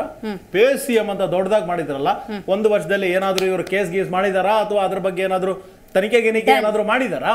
ಆಯ್ತಾ? ಆನಂತರ ಎಲ್ಲೋ ಒಂದ್ ಕಡೆ ಇವರ ಒಂದು ಇದು ಏನು ತಪ್ಪು ಅಪಪ್ರಚಾರ ಪ್ರಪಗಂಡ ಏನ್ ಮಾಡಿದರೆ ಅದಕ್ಕೆ ನಾವು ಕೌಂಟರ್ ಮಾಡೋದ್ರಲ್ಲಿ ತಪ್ಪಿದೀವಿ ನಾವು ಒಪ್ಕೊಂತೀವಿ. ಜನರ ಒಂದು ಏನು ಮ್ಯಾಂಡೇಟ್ ಅನ್ನ ನಾವು ಒಪ್ಕೊಂತೀವಿ. ಆದ್ರೆ ಇವ್ರು ಮಾಡೋದನ್ನು ಸರಿ ಅಂತ ಒಪ್ಕೊಳಕ್ಕಾಗತ್ತಾ? ಬೆಲೆ ಏರಿಕೆ ಒಪ್ಕೊಳಕ್ಕಾಗತ್ತಾ? ಒಂದೇ ಒಂದ್ ಕಿಲೋಮೀಟರ್ ರೋಡ್ ಆಗಿಲ್ಲ. ಪಾಟ್ ಹೋಲ್ಗಳು ಎಲ್ಲಂದ್ರಲ್ಲಿವೆ ಅದು ಮುಚ್ಚಿಲ್ಲ ಇವರು. ಇದನ್ನೆಲ್ಲ ಒಪ್ಕೊಳಕ್ಕಾಗತ್ತಾ? ಅಭಿವೃದ್ಧಿ ಕಾರ್ಯ ಒಂದೇ ಒಂದಾಗಿಲ್ಲ. ಭ್ರಷ್ಟಾಚಾರಗಳನ್ನು ಒಪ್ಕೊಳಕ್ಕಾಗತ್ತಾ? ಡೆಂಗು ಅಲ್ಲಿ ಮತ್ತೆ ಕಲುಷಿತ ನೀರಿನಲ್ಲಿ ಅಮಾಯಕ ಜನರು ಸಾಯ್ತಿದ್ದಾರೆ. ಇದನ್ನ ಒಪ್ಕೊಳಕ್ಕಾಗತ್ತಾ ಮೇಡಮ್ ಸೊ ಎರಡ್ ಸಾವಿರದ ಇಪ್ಪತ್ತ್ಮೂರ ವಿಧಾನಸಭಾ ಚುನಾವಣೆಯ ಸಂದರ್ಭದಲ್ಲಿ ನೂರ ಮೂವತ್ತೈದು ಅನ್ನುವಂಥ ರಿಸಲ್ಟ್ ಬರುತ್ತೆ ಅಂತ ಸಂದರ್ಭದಲ್ಲಿ ಅವತ್ತು ಜನ ಕೊಟ್ಟಿದ್ದು ಕರ್ನಾಟಕ ಕಾಂಗ್ರೆಸ್ ತಮ್ಮನ್ನು ಕೈ ಹಿಡಿಯುತ್ತೆ ಅಂತ ಹೇಳಿ. ಬಟ್ ಈ ರೀತಿ ಜಗಳ ಮಾಡಿಕೊಂಡು, ಈ ರೀತಿ ಓಪನ್ ಸ್ಟೇಟ್ಮೆಂಟ್ ಕೊಟ್ಕೊಂಡು, ಆಡಳಿತ ಮಾಡೋದನ್ನು ಬಿಟ್ಟು ಬೇರೆ ಬೇರೆ ಕೆಲಸಗಳಲ್ಲೇ ಬ್ಯುಸಿಯಾಗಿದ್ದಾರೆ ಬ್ಯುಸಿ ಆಗ್ತಾರೆ ಅಂತ ಒಂದು ಕ್ಲೂ ಸಿಕ್ಕಿದ್ರು ಕೂಡ ಜನಸಾಮಾನ್ಯರು ಈ ಒಂದು ಮ್ಯಾಂಡೇಟನ್ನು ಕೊಡೋದಕ್ಕೆ ಸಾಧ್ಯವೇ ಇರಲಿಲ್ಲ. ಕಾಂಗ್ರೆಸ್ನಲ್ಲಿ ಹೆಚ್ಚಾಗಿರುವಂತಹ ಒಳಬೇಗುದಿ, ಕುರ್ಚಿ ಕಾಳಗದ ಬಗ್ಗೆ ಇವತ್ತು ನಾವು ಮಾತಾಡ್ತಾ ಇದ್ದೀವಿ. ಭವ್ಯ ಅವರೇ, ಈ ಒಂದು ಕ್ಲಾರಿಟಿ ಏನಾದ್ರು ಜನಕ್ಕಿತ್ತು ಅಂದಿದ್ರೆ ನೂರ ಮೂವತ್ತೈದು ಕೊಡ್ತಾನೆ ಇರಲಿಲ್ಲ. ಸರ್ವ ಜನಾಂಗದ ಶಾಂತಿಯ ತೋಟ ಅಂದರು. ಏನು ಕಾಂಗ್ರೆಸ್ ಅಂತ ಹೇಳಿದ್ರೆ ಬಡವರ ಪಕ್ಷ ಜನರನ್ನ ಮೇಲೆತ್ತುವಂಥ ಕೆಲಸ ಆಗುತ್ತೆ. ಹೀಗೆಲ್ಲ ಹೇಳಿಕೊಂಡು ಒಂದು ಹಾಲು ತಗೋಬೇಕು ಅಂದರೂ ಕೂಡ ಇವತ್ತು ಬೆಲೆ ಏರಿಕೆಯಾಗಿದೆ ಅಗತ್ಯ ವಸ್ತುಗಳ ಬೆಲೆ ಏರಿಕೆಯಾಗಿದೆ. ಇದೆಲ್ಲದರ ಬಗ್ಗೆ ಚರ್ಚೆ ಮಾಡಬೇಕು ಒಂದಷ್ಟು ನಿರ್ಧಾರಗಳನ್ನು ತಗೊಳ್ಬೇಕು. ಅದನ್ನು ಬಿಟ್ಬಿಟ್ಟು ಕುರ್ಚಿಗೆ ಫೈಟ್ ಮಾಡ್ತಾರೆ ಅಂದರೆ ಯಾರು ಇದನ್ನು ಒಪ್ಕೊಳ್ಬೇಕು? ಇದು ಅಧಿಕಾರದ ಮದ ಅಂತ ಹೇಳ್ಬೋದು. ಯಾಕಂದ್ರೆ ಇಷ್ಟು ದಿನ ಚುನಾವಣೆ ಆಗೋ ತನಕ ಇವರೆಲ್ಲ ತಮ್ಮ ತಮ್ಮಲ್ಲಿ ಏನು ಒಳ ಹಗೆಗಳೇನಿದೆ ಅದನ್ನ ಅವತ್ಕೊಂಡೇ ಇದ್ದರು ಈಗ ಅವರವರ ನಾಯಕರು ಆ ನಾಯಕರಿಗೆ ನಮಗೆ ಅವ್ರಿಗೆ ಒಂದು ಆಡಳಿತವನ್ನು ಕೊಡಿ ಸಿದ್ದರಾಮಯ್ಯ ಅವ್ರಿಗೆ ಆಡಳಿತವನ್ನು ಕೊಡಿ ಬಿಟ್ಕೊಡಿ ಹೀಗೆ ಒಂದು ಜಗಳವನ್ನು ಮಾಡ್ತಾ ಇದ್ದಾರೆ. ಆದರೆ ಎಲ್ಲಿ ಗಮನಕ್ಕೆ ತರುವಂಥ ಪಾಯಿಂಟ್ಗಳು ಮಿಸ್ ಮಾಡ್ತಾ ಇದ್ದಾರೆ ಅಂದರೆ ಕಳೆದ ಹಲವು ದಿನಗಳಿಂದ ನೀವು ನೆನಪು ಮಾಡ್ಕೊಂಡ್ರೆ ಹಾಲಿನ ದರವನ್ನು ಹೆಚ್ಚು ಮಾಡಿದ್ರು. ಹೆಚ್ಚು ಮಾಡಿ ಏನಂತ ಹೇಳಿದ್ರು ಎರಡು ರೂಪಾಯಿ ಹೆಚ್ಚಳ ಯಾಕಂದ್ರೆ ಐವತ್ತು ಮಿಲಿ ಇವರು ಎಕ್ಸ್ಟ್ರಾ ಹಾಲನ್ನು ಸೇರಿಸಿದ್ದಾರೆ ಅಂತ. ಇವತ್ತು ಇವತ್ತು ಹೇಳ್ತೀನಿ ಅಂಗನವಾಡಿಗಳಿಗೆ ಹಾಲೇ ತಲುಪ್ತಿಲ್ಲ. ಅಲ್ಲಿಗೆ ಅದನ್ನ ಅಲ್ಲಿ ಪ್ರಾಥಮಿಕ ಶಿಕ್ಷಣದಲ್ಲಿ ಇವಾಗ ಇನ್ನೊಂದು L K G U K G ಅದನ್ನ ಸ್ಟಾರ್ಟ್ ಮಾಡ್ಬೇಕಂತ ಹೇಳಿ ಅವ್ರು ಹೊಟ್ಟೆಗೆ ಹೊಡಿಯೋಕ್ಕೂ ಹೋದ್ರು. ಅಂಗನವಾಡಿಗಳಲ್ಲಿ ಏನು ನಾವು ಸರ್ಕಾರಿ ಶಾಲೆಗಳಲ್ಲೇ ಅದನ್ನ ಸ್ಟಾರ್ಟ್ ಮಾಡ್ತೀವಿ ಅಂತ ಹೇಳಿ. ಅವ್ರದೇ ಒಂದು ರೂಲ್ಗಳನ್ನ ತಗೊಂಡ್ ಬರ್ತಾ ಇದ್ದಾರೆ ಈ ಕಡೆ ಬಡ ಬೋರೇಗೌಡರು ಬಡ ಭವ್ಯಗೌಡರು ಎಲ್ಲಿ ಹೋಗ್ತಾರೆ? ಬಡತನ ಇರೋರೆಲ್ಲ ಏನ್ ಮಾಡ್ತಾರೆ? ನಾಯಕರ ಪರವಾಗಿ ಮಾತಾಡೋರು ನಾಯಕರೇ. ಆಯ್ತಾ? ಸಾಮಾನ್ಯ ಜನರನ್ನ ಕೇಳೋರು ಯಾರು? ಡೆಂಗಿ ಸಂಬಂಧಪಟ್ಟಂತೆ ನಿಮ್ಗೊಂದು ಮಾಹಿತಿ ಹೇಳ್ತೀನಿ. ಯಲಹಂಕಗೆ ಸಂಬಂಧಪಟ್ಟಂತೆ ಆರೋಗ್ಯ ಆರೋಗ್ಯಾಧಿಕಾರಿಗಳು ಒಂದು ಕೋಟಿ ಎಂಬತ್ತು ಲಕ್ಷದಷ್ಟು ಹೆಚ್ಚುವರಿ ಹಣವನ್ನ ಬಿಡುಗಡೆ ಮಾಡಿದ್ದಾರೆ. ಇದನ್ನ ಕೇಳ್ತಾ ಇಲ್ಲ ನಾಯಕರು. ಅವ್ರ ಬಗ್ಗೆ ಯಾರು ಮಾತಾಡ್ತಾ ಇದ್ದಾರೆ? ನಾವು ನಾವು ಹೈಕಮಾಂಡ್ ಅನ್ನೋ ವಿಚಾರ ಏನಿದ್ರು ಲೇಟರ್ ಪಾರ್ಟಲ್ಲಿ ಬರುತ್ತೆ. ಆದ್ರೆ ಇವರ ಒಳಗಡೆ ಇರುವಂತ ಗಲಾಟೆಗಳ ಮಧ್ಯ ಇದನ್ನೆಲ್ಲ ಮರ್ತು ಹೋಗ್ತಾ ಇದ್ದಾರೆ. ಆಮೇಲೆ ಇನ್ನೊಂದೇನಂದ್ರೆ ವಿತ್ತೀಯ ಕೊರತೆ ಕಾಯ್ದೆ ಅಡಿ ಮೂರು ಪರ್ಸೆಂಟ್ ಡಿಫಿಸಿಟ್ ಇದೆ. ಇಲ್ಲಿ ರಾಜ್ಯ ಸರ್ಕಾರದಲ್ಲಿ. ಮತ್ತೆ ಸರ್ದ್ ವಿಚಾರದಲ್ಲೂ ಹೇಳಬೇಕಂದ್ರೆ ಕೇಂದ್ರ ಸರ್ಕಾರದಲ್ಲೂ ಏನು ಅಂತ ಹೇಳ್ಕೊಳ್ಳುವಂಥ ವ್ಯವಸ್ಥೆಗಳು ಮುಂದುವರಿತಾ ಇಲ್ಲ. ಕೇಂದ್ರ ಸರ್ಕಾರದಲ್ಲಿ ಇವಾಗೇನು ನೂರ ಎಪ್ಪತ್ತೆರಡು ಲಕ್ಷ ಕೋಟಿಯಷ್ಟು ಸಾಲ ಇದೆ. ಅದು ಮುಂದಿನ ವರ್ಷದಲ್ಲಿ ನೂರ ಎಂಬತ್ತೇಳು ಲಕ್ಷ ಕೋಟಿಯಷ್ಟು ಸಾಲ ಆಗುತ್ತೆ ಅಂತ ಈಗಾಗಲೇ ಪ್ರೆಡಿಕ್ಟ್ ಮಾಡಿದ್ದಾರೆ. ಸೊ ಜಿ ಡಿ ಪಿ ಏನೇ ತೋರಿಸಿದ್ರು ಎಲ್ಲ ಕಡೆಯಿಂದ ಜನರನ್ನ ಸಾಮಾನ್ಯ ಜನರನ್ನ ಮುಳುಗಿಸುವಂತ ಕೆಲಸಗಳು ಎರಡು ಕಡೆಯಿಂದನೂ ನಡೀತಾ ಇದೆ. Thank you. ಪರ್ಸೆಂಟೇಜ್ ನೀವು ಸಾಲದ್ದು ತೊಗೊಳ್ಬೇಕಾಗುತ್ತೆ G D P eighteen percent ತೋರಿಸ್ತಾ ಇದ್ರು ಸಾಲದ್ದು ನೀವು ಲೆಕ್ಕ ತಗೊಂಡ್ರೆ ನೀವು ಮುಂದಿನ ವರ್ಷದಲ್ಲಿ ಇವ್ರದೆಲ್ಲ ಬಂಡವಾಳ ಬಯಲಾಗುತ್ತೆ. ಸೊ ಇದೆಲ್ಲದರ ಮಧ್ಯೆ ಜನರೇ? ಜನರು ಈಗ ಏನು ಹೇಳ್ತಾರೆ ಅಂದ್ರೆ ಜನರು ಯಾರಿಗೆ ಮತ ಹಾಕೋದು ಅನ್ನೋದೊಂದು ಸ್ಟ್ಯಾಂಡ್ ಬೈನಲ್ಲಿ ಇದ್ಬಿಟ್ಟಿದ್ದಾರೆ. ಯಾಕಂದರೆ ಬಿಜೆಪಿನೂ ಏನೂ ಹೊರ್ತಿಲ್ಲ. ಬಿಜೆಪಿನಲ್ಲೂ ಕೂಡ ಈಗ ವಿಜೇಂದ್ರ ಅವ್ರನ್ನ ಬದಲು ಮಾಡಬೇಕು. ಯಡಿಯೂರಪ್ಪ ಮೇಲೆ ಪಾಸ್ಕೋ ಕೇಸ್ ಬಿದ್ದಿದೆ. ವಿಜೇಂದ್ರ ಅವ್ರನ್ನ ಬದಲು ಮಾಡಿ ನಮಗೂ ಒಂದು ಸಮುದಾಯದಲ್ಲಿ ಯಾರಾದರೂ ಒಬ್ರಿಗೆ ಕೊಡಿ ಚಾನ್ಸು ವಿಜೇಂದ್ರ ಅವ್ರಿಗೆ ಕೊಟ್ಟಿದ್ದು ಸಾಕು. ನಿಮ್ಮಲ್ಲೂ ಒಳಬೇಗುದಿ ಇದೆ. ಊಹಾಪೋಹ ಅಲ್ಲ ನಿಮ್ಮಲ್ಲೂ ಒಳಬೇಗುದಿ ಇದೆ. ಏನಂದ್ರೆ ಇವರು ಅಧಿಕಾರದಲ್ಲಿದ್ದಾರೆ ನೀವು ಅಧಿಕಾರದಲ್ಲಿಲ್ಲ ಜಾಸ್ತಿ ನಾಯಕರು ಮಾತಾಡೋದಕ್ಕೆ ಅವಕಾಶ ಸಿಗ್ತದೆ ನಿಮ್ಮಲ್ಲಿ ಮಾತಾಡೋದಕ್ಕೆ. ವಿಜೇಂದ್ರ ಸ್ಥಾನದಲ್ಲಿ ಇಲ್ಲ ಅನ್ನೋ ಚರ್ಚೆನೂ ಬಂತು. ಸೊ ಅದು ಅಲ್ಲೂ ಇದೆ ಅಲ್ಲೂ ಬದಲಾವಣೆ ಮಾಡಬೇಕು ಅಂತ. ಅದು ಪಾಸ್ಕೋ ಕೇಸ್ ಆಗಿರೋದ್ರಿಂದ ಕೇಂದ್ರದಿಂದಾನೇ ವಿಜೇಂದ್ರ ಬದಲಾವಣೆಗೆ ಈಗಾಗಲೇ ಆಪೋಸಿಷನ್ ಸ್ಟ್ರಾಂಗ್ ಇಲ್ಲ ಅಂತ ಹೇಳಿ ಅವ್ರನ್ನ ಬದಲಾವಣೆ ಮಾಡುವಂತ ಒಂದು. ಕೆಲಸವನ್ನ ಮಾಡ್ತಾ ಇದ್ದಾರೆ. ಸೊ ಎಲ್ಲಾ ಕಡೆಯಿಂದ ಜನರು ಯಾವ ಯಾರಿಗೆ ಮತ ಹಾಕ್ಬೇಕು? ಇವಾಗ ಚುನಾವಣೆ ನಡೆಸೋಣ. ಚುನಾವಣೆ ನಡೆಸಿದ್ರು ನೀವು ಹೇಳ್ದಂಗೆ ಅಷ್ಟೊಂದು ದುಡ್ಡು ಇದ್ರೆ ಗ್ಯಾರಂಟಿ ಯೋಜನೆಗಳಲ್ಲಿ ಕಳೆದಿರುವಂತ ದುಡ್ಡು ಇವತ್ತು ವಿದ್ಯುತ್ ಬಿಲ್ ಕಟ್ಟೋದಕ್ಕೆ ಐದು ಸಾವಿರ ಕೋಟಿ ಸಾಲ ಮಾಡಿದೆ ಸರ್ಕಾರ ನೋಡಿ. ಉಡ್ಕೋಯಿಂದ ಸೊ ಈ ಸಾಲ ಮಾಡಿ ಬಿಲ್ ಕಟ್ಟುವಂತ ಪರಿಸ್ಥಿತಿ ಪಾವತಿ ಪಾವತಿ ಮಾಡುವಂತ ಪರಿಸ್ಥಿತಿ ಸರ್ಕಾರಕ್ಕೆ ಎದುರಾಗಿದೆ. ಎಲ್ಲಾ ಗ್ಯಾರಂಟಿ ಯೋಜನೆಗಳಿಗೆ ಏನೋ ಹಣ ಆಗ್ತಾ ಇದಾರೆ ಅದನ್ನು ಕೂಡ ಕೆಲವು ಕಡೆ ಗ್ಯಾರಂಟಿ ಯೋಜನೆಗಳು ತಲುಪ್ತಾನೂ ಇಲ್ಲ. ರೈಟ್ ಯಾರು ಓಟ್ ಹಾಕ್ತೀರಾ? ಒಂದು ಪರ್ಯಾಯ ಸರ್ಕಾರ ನಮ್ದೊಂದು ಸರ್ಕಾರ ತಗೊಂಡ್ ಬಂದ್ ನೋಡಿ ಅಂತ ನಾವು ಹೇಳ್ತೀವಿ. ಆಮ್ ಆದ್ಮಿ ಪಕ್ಷದ ಸರ್ಕಾರ ಇವತ್ತು ದೆಹಲಿಯಲ್ಲಿ ನೀವು ವ್ಯವಸ್ಥೆ ಇದ್ರು ಆ ವ್ಯವಸ್ಥೆನ ನೀವು ನಡ್ಸೋಕ್ ಬಿಡ್ತಲ್ಲ ಆದ್ರೆ ಕಾರ್ಪೊರೇಷನ್ ಮಟ್ಟಿಗೆ ಒಂದು ಸರ್ಕಾರ ಅವ್ಯವಸ್ಥೆ. ಅಂದ್ರೆ ಏನು? ಇಡಿ ಎಲ್ಲಾ ಒಂದು ಇಡಿ ಸಿಬಿಐ ಇಂತ ತನಿಖಾಧಿ ತನಿಖಾಧಿಕಾರಿಗಳನ್ನ ಅದಕ್ಕೆ ಸರ್ ಈ ಸತಿ ನಮ್ಗೆ ಮೂರ್ ಸೀಟ್ ಬಂದಿದೆ ಅಲ್ವಾ ಸರ್? ಇದು? ಎಲ್ಲಾ ಕಡೆ ನಮ್ದು ಒಂದ್ ಅಬ್ಸರ್ವ್ ಮಾಡ್ಬೇಕು. ಕೇಳಿ ಸರ್ ಏಳು ಸೀಟ್ಗಳಲ್ಲಿ ಎಲ್ಲಾ ಕಡೆ ಸೆಕೆಂಡ್ ಬಂದಿದೆ ಸೆಕೆಂಡ್ ಅಂದ್ರೆ ಕೇವಲ ಸ್ವಲ್ಪ ಅಂತರದಲ್ಲಿ ಯಾಕೆ? ನೀವು ನೋಡಕ್ ಹೋದ್ರೆ ಯಾಕೆ? ಸರ್ವಾಧಿಕಾರ ಧೋರಣೆ ಇಡಿ ಸಿಬಿಐ ಅಂತ ಸ್ಥಳೀಯ ಸಂಸ್ಥೆಗಳನ್ನ ಅಲ್ಲಿ ಬಳಸ್ಕೊತಾ ನೀವು? ಸಿಡಿಎಸ್ ಮಾಡಕ್ಕಾಗತ್ತಾ? ಸಿಬಿಐ ಮತ್ತು ಇಡಿ ಸಂಸ್ಥೆಗಳನ್ನ ಬಳಸ್ಕೊಂಡು ಅವ್ರ ಧೋರಣೆ ಮಾಡ್ತಾ ಇರೋದ್ರಿಂದ ಇವತ್ತು ಅರವಿಂದ್ ಕೇಜ್ರಿವಾಲ್ ಜೈಲಲ್ಲಿ. ಷಡ್ಯಂತ್ರಕ್ಕೆ ಇರೋದು? ಆ ಪಂಜಾಬ್ನಲ್ಲಿ ಸೀಟ್ ಗೆದ್ದಿದೀವಲ್ವಾ ಅಲ್ಲ ನೀವು ಪಂಜಾಬಿ ಕೈ ಹಾಕಿಲ್ದೇ ಇರ್ಬೋದು. ನೆಕ್ಸ್ಟ್ ಪಂಜಾಬ್ ತಗೋಬಹುದು ಪಂಜಾಬ್ ಕೆಲಸ ಮಾಡಿ ತೋರಿಸಿ. ಅಲ್ಲ Done, done, ನಾನು ಬರ್ತೀನಿ. ಭ್ರಷ್ಟಾಚಾರ ನಡೀತಾ ಇದೆ. ಆಯ್ತು, ಆಯ್ತು, ಬರೋಣ. ಸರಿಯಾಗಿ ಕರ್ನಾಟಕ ನಡೀತಾ ಇಲ್ಲ. ಗ್ಯಾರಂಟಿಗಳು ಕೊಡ್ತಾ ಇಲ್ಲ ಇವರ ಭ್ರಷ್ಟಾಚಾರ ಬಗ್ಗೆ ಹೇಳ್ತೀನಿ ನಿಮಿಷ ಒಂಬತ್ತು ದಿನಗಳಲ್ಲಿ ಐದು ಸೇತುವೆಗಳು ಬಿಹಾರದಲ್ಲಿ ಬಿದ್ದಿದೆ ಸರ್ ಪ್ರಗತಿ ಮೈದಾನ ಪ್ರಗತಿ? ಮೈದಾನಕ್ಕೆ ಯಾರು ಸರ್ ಬಂದು ಇನಾಗ್ರೇಟ್ ಮಾಡಿದ್ದು ಮೋದಿ. ಅವ್ರು ತಾನೇ ಇನಾಗ್ರೇಟ್ ಮಾಡಿದ್ದು ಎಲ್ಲರೂ ಸ್ವಿಮ್ಮಿಂಗ್ ಪೂಲ್ ಆಗಿದೆ ಪ್ರಗತಿ ಮೈದಾನ ಕೇಳ್ತೀರಾ ಅಟಲ್. ಅಟಲ್ ಅಟಲ್ ಸೇತುವೆ ಬಿರುಕ್ ಬಿಟ್ಟಿದೆ ಕೇಳ್ತಾರೆ ಎಷ್ಟು ಎಷ್ಟು ಸಾವಿರ ಕೋಟಿ ಖರ್ಚು ಮಾಡಿದಿರಾ ದೆಹಲಿಯ ಅಂತಾರಾಷ್ಟ್ರೀಯ ವಿಮಾನ ಬಗ್ಗೆ- ನಿಲ್ದಾಣ ಜಬಲ್ಪುರ್ ಇದು ವಿಮಾನ? ನಿಲ್ದಾಣ. ಅದ್ರ ಬಗ್ಗೆ ಆ, ಕೇವಲ ಒಂಬತ್ತು ದಿನಗಳಲ್ಲಿ ಐದು. ಸೇತುವೆಗಳು. ಇದು ಭ್ರಷ್ಟಾಚಾರ ಎಲ್ಲೋಗುತ್ತೆ ದುಡ್ಡೆಲ್ಲ ಜನಸಾಮಾನ್ಯರು ಹೊಟ್ಟೆ ಬಟ್ಟೆ ಕಟ್ಟಿ ನಾವು ಕೊಡುವಂತದ್ದು ನೀವು ಮಾಡಿರೋ ಕೆಲಸ ಸರಿ ತಂದು ಇಡೀ ಇದು ಮೊಹಲ್ಲಾ ಇದೆಯಲ್ವಾ? ಅಲ್ಲಿ ಒಂದು ಟ್ಯಾಂಕರ್ ತಂದು ಪಾಪ ವಿಡಿಯೋಗಳನ್ನು ನೋಡಿದ್ರೆ ನಮ್ ಬೇಜಾರು ಆಯ್ತಾಯ್ತು ನನಗೆ ಭ್ರಷ್ಟಾಚಾರ. ಎಲ್ಲ ಕುಸಿದು ಬಿದ್ದ ಮೇಲೆ. ಜನರಿಗೆ ಎಷ್ಟರ ಮಟ್ಟಿಗೆ ಹೇಳಿದ್ರೆ, ಕಳಪೆ ಕಾಮಗಾರಿ ನಡೆಸಿದಿರಾ? ಎಷ್ಟು ಕಮಿಷನ್ ಹೊಡೆದಿದ್ದೀರಾ ನೀವು? ಎಷ್ಟು ಪೇ ಸಿ ಗಳು ಮಾಡ್ತಾ ಇದ್ದೀರಾ ಅಂತ ಗೊತ್ತಾಗುತ್ತೆ. ಅಲ್ಲಿ ಬರ್ತೀನಿ ರತನ್ ಅವರೇ ರತನ್ ಅವರೇ. ನೀವು ನೋಡ್ತಾ ಆಯ್ತು ಆಯ್ತು ಅಲ್ಲಿ. ಆಯ್ತು ಡನ್ ಡನ್ ಡನ್. ಎಲ್ಲ ನೀವೇ ನೀವೇ ಮಾಡಿ, ಕಟ್ಸಿರುವಂತ. ನೀವೇ ಇವ್ರದ್ದೇ ದುಡ್ಡು. ಗ್ಯಾರಂಟಿ ಯೋಜನೆಗಳ ಬಗ್ಗೆ ಮಾತಾಡ್ತಿರಲ್ಲ ಗ್ಯಾರಂಟಿ ಯೋಜನೆಗಳಲ್ಲಿ. ಅಟ್ಲೀಸ್ಟ್ ಜನರಿಗೆ ತಲುಪ್ತಾ ಇದೆ ಹಣ ಜನರಿಗೆ ತಲುಪ್ತಾ ಇದೆ ಕೆಲವು? ಕಡೆ ತಲುಪ್ತಾ ಇಲ್ಲ ಆದ್ರೆ ನಮ್ಮ ಟ್ಯಾಕ್ಸ್ ಹಣ ನಮ್ಮ ಇರಿ, ಇರಿ. ಟ್ಯಾಕ್ಸ್ ಹಣ ನೀವು ನಮಗೆ ಖರ್ಚು ಮಾಡಬೇಕು ತಾನೇ. ಆದ್ರೆ ಸೇತುವೆ ಕಟ್ಸಿ ಅದನ್ನ ಕಳಪೆ. ಕಾಮಗಾರಿಯಲ್ಲಿ ಕಮಿಷನ್ ಒಂದ್ ಪ್ರಶ್ನೆ ಹೊಡ್ತೀರಲ್ಲ ಹೇಳ್ತೀನಿ. ಯಾರಿಗ್ ಹೋಗುತ್ತೆ ಈ ಹಣ ಎಲ್ಲ ಮೇಡಮ್, ನೀವು ನಿಮ್ಮ ಕಮಿಷನ್. ನೀವು ಭದ್ರ ಮಾಡ್ಕೊಂಡ್ರಿ ನಿಮ್ಮ. ಪಕ್ಷದ ಕಮಿಷನ್ ಆದ್ರೆ. ಸೇತುವೆ ಬಿಟ್ಟ ಮೇಲೆ ಕೊಡ್ತೀನಿ. ನಮ್ಗೆ ಟ್ಯಾಕ್ಸ್ ಬೀಳುತ್ತಾನೆ ನಾನು. ಹಣ ದುಬ್ಬರದ ಬಗ್ಗೆ ಮಾತಾಡಿ ಸರ್ ಹಣದುಬ್ಬರದ ಹಣ ದುಬ್ಬರದ ಬಗ್ಗೆ ಮಾತಾಡಿ ಯಾಕೆ ಮಾತಾಡ್ತಾ ಇಲ್ಲ ನೀವು ಬಗ್ಗೆ? ಪೆಟ್ರೋಲ್ ಮತ್ತೆ ಡೀಸೆಲ್ ಬೆಲೆ ಏರಿಕೆ ಬಗ್ಗೆ ಯಾಕೆ ಮಾತಾಡ್ತಾ ಇಲ್ಲ ನೀವು ಸಿಂಗ್ ಸರ್ಕಾರ ಇದ್ದಾಗ ಮನಮೋಹನ್ ಸಿಂಗ್ ಎರಡ್ ಸಾವಿರದ. ಇಪ್ಪತ್ತು ಆಯ್ತು ಆಯ್ತು ಆಯ್ತು percent ಕರ್ನಾಟಕಕ್ಕೆ ಬರೋಣ ಸಾಲ? ಡಬಲ್ ಆಗಿದೆ ಎರಡ್ ಸಾವಿರದ ಇಪ್ಪತ್ತೊಂದರಲ್ಲಿ ಯಾರ ಅಧಿಕಾರ ಇತ್ತು? ಎರಡ್ ಸಾವಿರದ ಇಪ್ಪತ್ತೊಂದರಲ್ಲಿ ಯಾರ ಅಧಿಕಾರ ಇತ್ತು? ಎಷ್ಟು ಪರ್ಸೆಂಟೇಜ್ ನೀವು ಆಗಿದೆ? ಮಾತಾಡಿದ್ರೆ ನೀವು ಮಾತಾಡಿದ್ರೆ ಅಲ್ಲ, ಅಲ್ಲ, ಮಾತಾಡಿದ್ರೆ ಆಯ್ತು ಭವ್ಯ ಭವ್ಯ ಭವ್ಯ ಅವರೇ ಒಂದು ನಿಮಿಷ ಮಾತಾಡ್ತೀನಿ. ಪುರಾಣಿಕ್ ಸರ್ ಎರಡ್ ಸಾವಿರದ ಇಪ್ಪತ್ತ್ಮೂರರ ವಿಧಾನಸಭೆಯ ಚುನಾವಣೆ ಸಾರ್ವತ್ರಿಕ ಚುನಾವಣೆಗೆ ನೆನಪಿಸ್ಕೊಳ್ಳೋಣ ಡಿ ಕೆ ಶಿವಕುಮಾರ್ ಅಂತನೋ ಸಿದ್ದರಾಮಯ್ಯನವ್ರು ಅಂತಾರೋ ರಾಹುಲ್ ಗಾಂಧಿ ಅಂತನೋ ಕಾಂಗ್ರೆಸ್ ಅಂತನೋ ನೂರ ಮೂವತ್ತೈದು ಸಿಕ್ಕಿಬಿಟ್ಟಿದೆ. ಯಾವ ಉದ್ದೇಶದಿಂದ ಜನ ಕೊಟ್ಟಿದ್ದ ಮ್ಯಾಂಡೇಟ್? ಬಡರ್ ಪರ ಬಡ ಜನ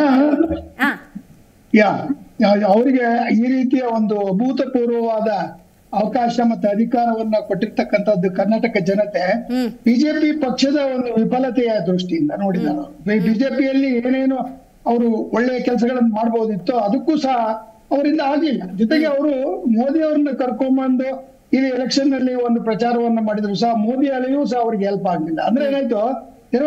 ಕೈಂಡ್ ಆಫ್ ಆಂಟಿ ಇನ್ಕ್ಯುಂಬೆನ್ಸಿ ಆಡಳಿತ ವಿರೋಧಿ ಅಲೆ ಅಂತಕ್ಕಂಥದ್ದು ಇತ್ತು ಅಂತಕ್ಕಂಥದ್ರಲ್ಲಿ ಎರಡನೇ ಮಾತಿಲ್ಲ. ಮತ್ತೆ ಇವರು ಆ ಒಂದು ಪಕ್ಷವನ್ನ ಸೋಲಿಸಿ ನೂರ ಮೂವತ್ತಾರು ಸೀಟುಗಳನ್ನ ಪಡೆದು ಅಧಿಕಾರಕ್ಕೆ ಬಂದಂತವರು ಒಂದು ವರ್ಷದಲ್ಲೇ ಇಷ್ಟು ಬೇಗ ಒಂದು ರೀತಿನಲ್ಲಿ ಆ, ನಮ್ಮ ಇವರು ರತನ್ ಅವ್ರು ಹೇಳಿದ್ರು ಅದನ್ನ ಕಾಳಗ ಅಂತ ಹೇಳ್ಬೇಡಿ. ಪೈಪೋಟಿ ಇದೆ. ಪೈಪೋಟಿಯಿಂದ ಕಾಳಗ ಆಗುತ್ತೆ ಸಿ ಬಿ ಈಗ ಬೆಂಕಿ ಇಲ್ಲದೆ ಹೊಗೆ ಬರಕ್ ಸಾಧ್ಯ ಇಲ್ಲ. ಅದು ಹೊಗೆ ನಂತರ ಮುಂದೆ ಏನಾಗುತ್ತೆ ಅಂತಕ್ಕಂಥದ್ದು ರಾಜ್ಯದ ಜನತೆ ಅತ್ಯಂತ ವಿಷಾದದಿಂದ ಮತ್ತು ಬೇಸರದಿಂದ ನೋಡ್ತಾ ಇದ್ದಾರೆ ಅಂತಕ್ಕಂಥದ್ದು ಎರಡನೇ ಮಾತು. ಅದು ಮತ್ತೆ ಏನು ಆಡಳಿತಾತ್ಮಕವಾದ ಏನು ಸಮಸ್ಯೆಗಳನ್ನ ಇವರು ಎದುರಿಸಬೇಕಾಗಿತ್ತು ಅದನ್ನ ರಾಜ್ಯ ಮಟ್ಟದಲ್ಲಿ ಆಗ್ಲಿ ಅಥವಾ ರಾಜಧಾನಿಯಾದಂತ ಬೆಂಗಳೂರಿನಲ್ಲಿ ಆಗ್ಲಿ ಮತ್ತೆ ಬೇರೆ ಗ್ರಾಮಾಂತರ ಪ್ರದೇಶಗಳಲ್ಲಿ ಜನರಿಗೆ ಆಗಿರ್ತಕ್ಕಂತ ಏನು ರೈತರ ಕಷ್ಟ ನಿಷ್ಠರುಗಳಿಗೆ ಆದಿಲ್ಲ. ಅದ್ರ ಜೊತೆಗೆ ಭ್ರಷ್ಟಾಚಾರ ಬೇರೆ. ಈ ಕಾಶ್ಮೀರ ವಾಲ್ಮೀಕಿ ನಿಗಮದ ಹಣವನ್ನ ಒಂದು ಸಾರ್ವಜನಿಕರ ಹಿಂದುಳಿದ ವರ್ಗದವರ ಅದರಲ್ಲಿ ಅತ್ಯಂತ ಹಿಂದುಳಿದ ವರ್ಗದಂತ ಜನಗಳಿಗೆ ಇಟ್ಟಂತ ನಿಗಮದ ಹಣವನ್ನು ಖರ್ಚು ಮಾಡದೆ. ಅದನ್ನು ವ್ಯಾಪಾರಕ್ಕೋಸ್ಕರ ಬೇರೆ ರೂಪದಲ್ಲಿ ದುರುಪಯೋಗ ಮಾಡಿಕೊಂಡು ಆಂಧ್ರ ಕೊಟ್ಟಿದ್ದಾರೆ ಎಲ್ಲಿ ಬೀರ್ ನಾಲ್ ಹದಿನಾಲ್ಕನ್ನು ಹನ್ನೆರಡು ಬೀರ್ ಶಾಪ್ಗಳಿಗೆ ಹಣ ಕೊಟ್ಟಿದೆ. ಅಂದ್ರೆ ಏನಾಯ್ತು? ಇದುವರೆಗೂ ನೂರ ತೊಂಬತ್ತೆರಡು ಕೋಟಿ ಒಂದು ಏನು ಹಗರಣ ಆಗಿದೆ. ಅದರಲ್ಲಿ ಕೇವಲ ಹತ್ತರಿಂದ ಹನ್ನೆರಡು ಕೋಟಿ ವಾಪಸ್ ಬಂದಿದೆ. ಅಂದ್ರೆ ಏನಾಯ್ತು? ಇಡೀ ಒಂದು ವ್ಯವಸ್ಥೆಯಲ್ಲಿ ಇವರು ಆಡಳಿತದ ಒಂದು ಚುಕ್ಕಾಣಿ ಅದರಲ್ಲೇ ನುರಿತಂತ ಒಂದು ಮುಖ್ಯಮಂತ್ರಿ ಸಿದ್ದರಾಮಯ್ಯ. ನಾನು ಅವ್ರನ್ನ ಸುಮಾರು ಐವತ್ತು ವರ್ಷದಿಂದ ಬಂದೆ ಸ್ಟೂಡೆಂಟ್ ಆದಾಗಿಂದ ನೋಡಿದ್ದೀನಿ ಅವರ ಒಂದು ಏನು ಹಳೆಯ ವೈಖರಿ ಇತ್ತಲ್ಲ ಹಿಂದಿನ ವೈಖರಿ ಅದು ಇವತ್ತಿಲ್ಲ. ಯಾಕಂದ್ರೆ ಅವ್ರಿಗೆ ಒಂದು ರೀತಿಯಲ್ಲಿ ಕೈ ಕಟ್ಟಿದಂಗಾಗಿದೆಯೋ ಏನೋ ಗೊತ್ತಿಲ್ಲ ಮತ್ತೆ ಅವರಲ್ಲೇ ಗುಂಪುಗಳು ಜಾಸ್ತಿ ಆಗಿದೆ. ಪುರಾಣಿಕ್ ಸರ್ ಕೈ ಜಾರಕಿಹೊಳಿ ನಾನು ಅವರು ಒಂದು ಉಪಮುಖ್ಯಮಂತ್ರಿ ಸ್ಥಾನವನ್ನು ಪಡಿಬೇಕು ಅಂತ. ಮತ್ತೆ ಈ ಜಮೀರ್ ಅಹಮದ್ ಸರ್ ಹೇಳಿದ್ರೆ ಒಂದು ಮೈನಾರಿಟಿಗೆ ಒಂದು ಕೊಡಿ ಅಂತಾರೆ ರಾಜಣ್ಣ ಹೇಳ್ತಾರೆ ನನಗೂ ಒಂದು ಕೊಡಿ ನಾನು ಹಿಂದುಳಿದ ವರ್ಗ ಅಹಿಂದ ಅಹಿಂದ ಅಥವಾ ಯಾವುದೇ ಒಂದು ಜಾತಿ ಆಧಾರದ ಮೇಲೆ ಉಪಮುಖ್ಯಮಂತ್ರಿ ಸ್ಥಾನವನ್ನು ಕೇಳುವಂತದ್ದು ಅತ್ಯಂತ ನಾಚಿಕೆಗೇಡು. ನೀವು ಚುನಾವಣೆಯಲ್ಲಿ ಏನಾದ್ರೂ ಪ್ರಚಾರ ಮಾಡ್ಕೊಳ್ಳಿ. ಇಲ್ಲಿ ಬೆರೆದಬೇಕಾಗಿಂತದ್ದು ನಿಮ್ಮ ಕಾರ್ಯಕ್ರಮಗಳ ಆಧಾರದ ಮೇಲೆ ನಿಮಗೆ ಜನ ನೀಡಿರ್ತಕ್ಕಂತ ಒಂದು ಮ್ಯಾಂಡೇಟ್ ಏನಿದೆಯಲ್ಲ ಆ ಮ್ಯಾಂಡೇಟಿನ ಆಧಾರದ ಮೇಲೆ ಇಷ್ಟೊತ್ತಿಗೆ ಒನ್ ಇಯರ್ಗೆ ಒಳ್ಳೆ ಪರ್ಫಾರ್ಮಿಂಗ್ ಅಡ್ಮಿನಿಸ್ಟ್ರೇಷನ್ ಕೊಡ್ಬೋದು. ಬೆಟರ್ ಅಡ್ಮಿನಿಸ್ಟ್ರೇಷನ್ ಪ್ರೋಗ್ರೆಸಿವ್ ಅದನ್ನ ನಾವು ಕಾಣ್ತಾ ಇಲ್ಲ ಅಂತಕ್ಕಂಥದ್ದು ನಮಗೆ. ಬೆಲೆ ಏರಿಕೆ ಬಗ್ಗೆ ಭವ್ಯ ಅವರು ಹೇಳಿದ್ರು ಮತ್ತೆ ಬಿಜೆಪಿ ಅದು ಬೇರೆ ಮತ್ತೆ ಬೆಲೆ ಏರಿಕೆ ಅಂತಕ್ಕಂಥದ್ದು ನಮ್ಮೆಲ್ಲರ ಸಮಸ್ಯೆ ನಿಮ್ಮ ಸಮಸ್ಯೆ. ಪ್ರತಿನಿತ್ಯ ನೀವು ಮನೆಗೆ ಹೋದಾಗ ಆ ಒಂದು ಸಮಸ್ಯೆಯನ್ನು ಎದುರಿಸ್ತಕ್ಕಂತ ಸನ್ನಿವೇಶದಲ್ಲಿ ಯಾವ ಪರಿಹಾರವನ್ನು ನೀಡಬೇಕಾಯ್ತು ನೀಡಬೇಕಾಗಿತ್ತು ನೀಡಿ ಆಮೇಲೆ ಸರ್ guarantee ಪುರಾಣಿಕ್ ಸರ್ ಒಂದು ಜಟಾಪಟಿ ಅಂತೂ ಕಾಣಿಸ್ತಿದೆ. ಏನೇ ಕಾಂಗ್ರೆಸ್ನವ್ರು ಇಲ್ಲ ಅಂತ ಹೇಳಿದ್ರು ಕೂಡ ಈಗ ಗ್ಯಾರಂಟಿ ಗ್ಯಾರಂಟಿಯನ್ನ ಇವರು ಗ್ಯಾರಂಟಿ ಅಂತಕ್ಕಂಥದ್ದನ್ನ ಇವ್ರು ಕೊಟ್ಟಾಗ ಅದಕ್ಕೆ ಸಂಪನ್ಮೂಲಗಳನ್ನ ತರುವುದು ಕೇಂದ್ರದಿಂದ ಕೊಡಿ ಅಲ್ಲಿ ಕೊಡಿ ಅಂತಲ್ಲ. ಇಲ್ಲಿ ಭ್ರಷ್ಟಾಚಾರವನ್ನ ಕಡಿಮೆ ಮಾಡಿ ಏನು ಉಪಯುಕ್ತತೆ ಇಲ್ಲ ಅನ್ಪ್ರೊಡಕ್ಟಿವ್ ಎಕ್ಸ್ಪೆಂಡಿಚರ್ ಅದನ್ನ ಕಟ್ ಮಾಡಿ ಮಿತವ್ಯಯದಿಂದ ಆಡಳಿತವನ್ನು ನಡೆಸಿ ಕೊಟ್ಟಿರ್ತಕ್ಕಂಥ ಹಣವನ್ನ ಅಭ್ಯುದಯಕ್ಕೆ ಕೊಡ್ಬೇಕಾಯ್ತು. ಒಂದು. ಎರಡನೇದು ಈ ಲೋಕಸಭಾ ಚುನಾವಣೆ ಮತ್ತು ಅಂತ ಹೇಳಿ ಮೂರು ತಿಂಗಳು ಅಭಿವೃದ್ಧಿ ಕಾರ್ಯಕ್ರಮಗಳಾಗಿ ಈಗ ನಲವತ್ತರಿಂದ ಐವತ್ತು ಕಾಂಗ್ರೆಸ್ ಶಾಸಕರ ಕ್ಷೇತ್ರಗಳಲ್ಲಿ ಯಾವುದೇ ರೀತಿಯ ಅನುದಾನ ಇಲ್ಲ ಅಂತ ಅವರು ಒಂದ್ ರೀತಿಯಲ್ಲಿ ಚಿಂತಾಕ್ರಾಂತರಾಗಿದ್ದಾರೆ. ಅಥವಾ ಒಂದ್ ರೀತಿಯಲ್ಲಿ ಅವ್ರಿಗೆ ಏನೋ ಒಂದು ಭರವಸೆ ಹೊರಟೋಗಿದೆ. ನಾವು ಮುಂದೆ ಚುನಾವಣೆಯಲ್ಲಿ ಗೆಲ್ತೀವೋ ಇಲ್ಲ ಅಂತಕ್ಕಂಥ ಒಂದು ಯಾಕಂದ್ರೆ ಲೋಕಸಭೆಯಲ್ಲಿ ನಿಮ್ಗಾಗ್ಲೇ ಈಗ ಒಂದು ಏಟನ್ನ ಕೊಟ್ಟಿದ್ದಾರೆ ಜನ. ಯಾಕೆ? ನೀವು ಒಂದು ಪರ್ಫಾರ್ಮೆನ್ಸ್ ಗೌರ್ಮೆಂಟ್ ಒಂದು better government corruption less government ಆ ಒಂದು ಇಮೇಜ್ ಕಾಂಗ್ರೆಸ್ ಅವಕಾಶ ಇತ್ತು. ಗೋಲ್ಡನ್ ಅಪರ್ಚುನಿಟಿ ಬಂದೆ ಹೌದು. ಅವ್ರು ತಗೊಂಡಿಲ್ಲ ಬಿಜೆಪಿ ಬಿಜೆಪಿ ಅವರು ಸಾವಿರ ಹೇಳಿ ಅವ್ರು ಸೋತಿದ್ದೆ ಅಪಪ್ರಚಾರ ಇರ್ಬೋದು ಪಿ ಸಿ ಎಂ ಇರ್ಬೋದು ಏನೇ. ಒಟ್ಟಲ್ಲಿ ಜನ ನಿಮ್ಮನ್ನ ಒಂದು ವಿರಾಮ ಕೊಟ್ಟಿದ್ದಾರೆ. ಆ ವಿರಾಮದಲ್ಲಿ ನೀವು ಒಳ್ಳೆಯ ಜವಾಬ್ದಾರಿಯುತವಾದ ವಿರೋಧ ಪಕ್ಷವಾಗಿ ಕೆಲಸ ಮಾಡ್ಬೇಕು ಅಂತ ಆ ಕಾಂಗ್ರೆಸ್ನಲ್ಲಿ ಒಳ ಜಗಳಕ್ಕೆ ನೀವು ಕೈ ಹಾಕಬಾರ್ದು. ಅವರು ಅವರಾಗೆ ಕುಸಿದು ಬೀಳುವ ಸನ್ನಿವೇಶ ಇರುವಾಗ ನೀವ್ ಯಾಕೆ ಅದರ ಆಪಾದನೆಯನ್ನು ಪಡಿತೀರಿ? ಅಂದ್ರೆ ಏನಾಯ್ತು? ಈಗ ಒಂದು ಒನ್ ಮ್ಯಾನ್ ಒನ್ ಪೋಸ್ಟ್ ಅಂತ ಒಂದು ಹೊಸ ಸ್ಲೋಗನ್ ಕಾಂಗ್ರೆಸ್ನವರು ಅನುಕೂಲ ಸಿದ್ಧವಾದ ವಾದವನ್ನು ಮಾಡ್ತಾರೆ. ಒನ್ ಮ್ಯಾನ್ ಒನ್ ಪೋಸ್ಟ್ ಅಂತಕ್ಕಂಥದ್ದು ಮೊದ್ಲು ಯಾಕಿರ್ಲಿಲ್ಲ?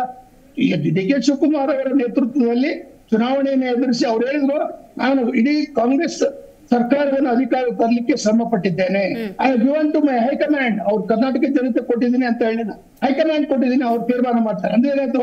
ಅವರನ್ನ ಮುಖ್ಯಮಂತ್ರಿ ಮಾಡ್ತಾರೆ. ಆದ್ರೆ ಹೆಚ್ಚು ಶಾಸಕರು ಹೈಕಮಾಂಡ್ ಪರ hundred percent high command eighty percent eighty to hundred percent ಇವರು ಶಿವಕುಮಾರ್ ಕಡೆಗೆ ಆದ್ರೆ ಜನರ ಪ್ರತಿನಿಧಿಗಳಿರ್ತಕ್ಕಂಥ ಮೆಜಾರಿಟಿ ಸಿದ್ದರಾಮಯ್ಯ ಕೈಲ.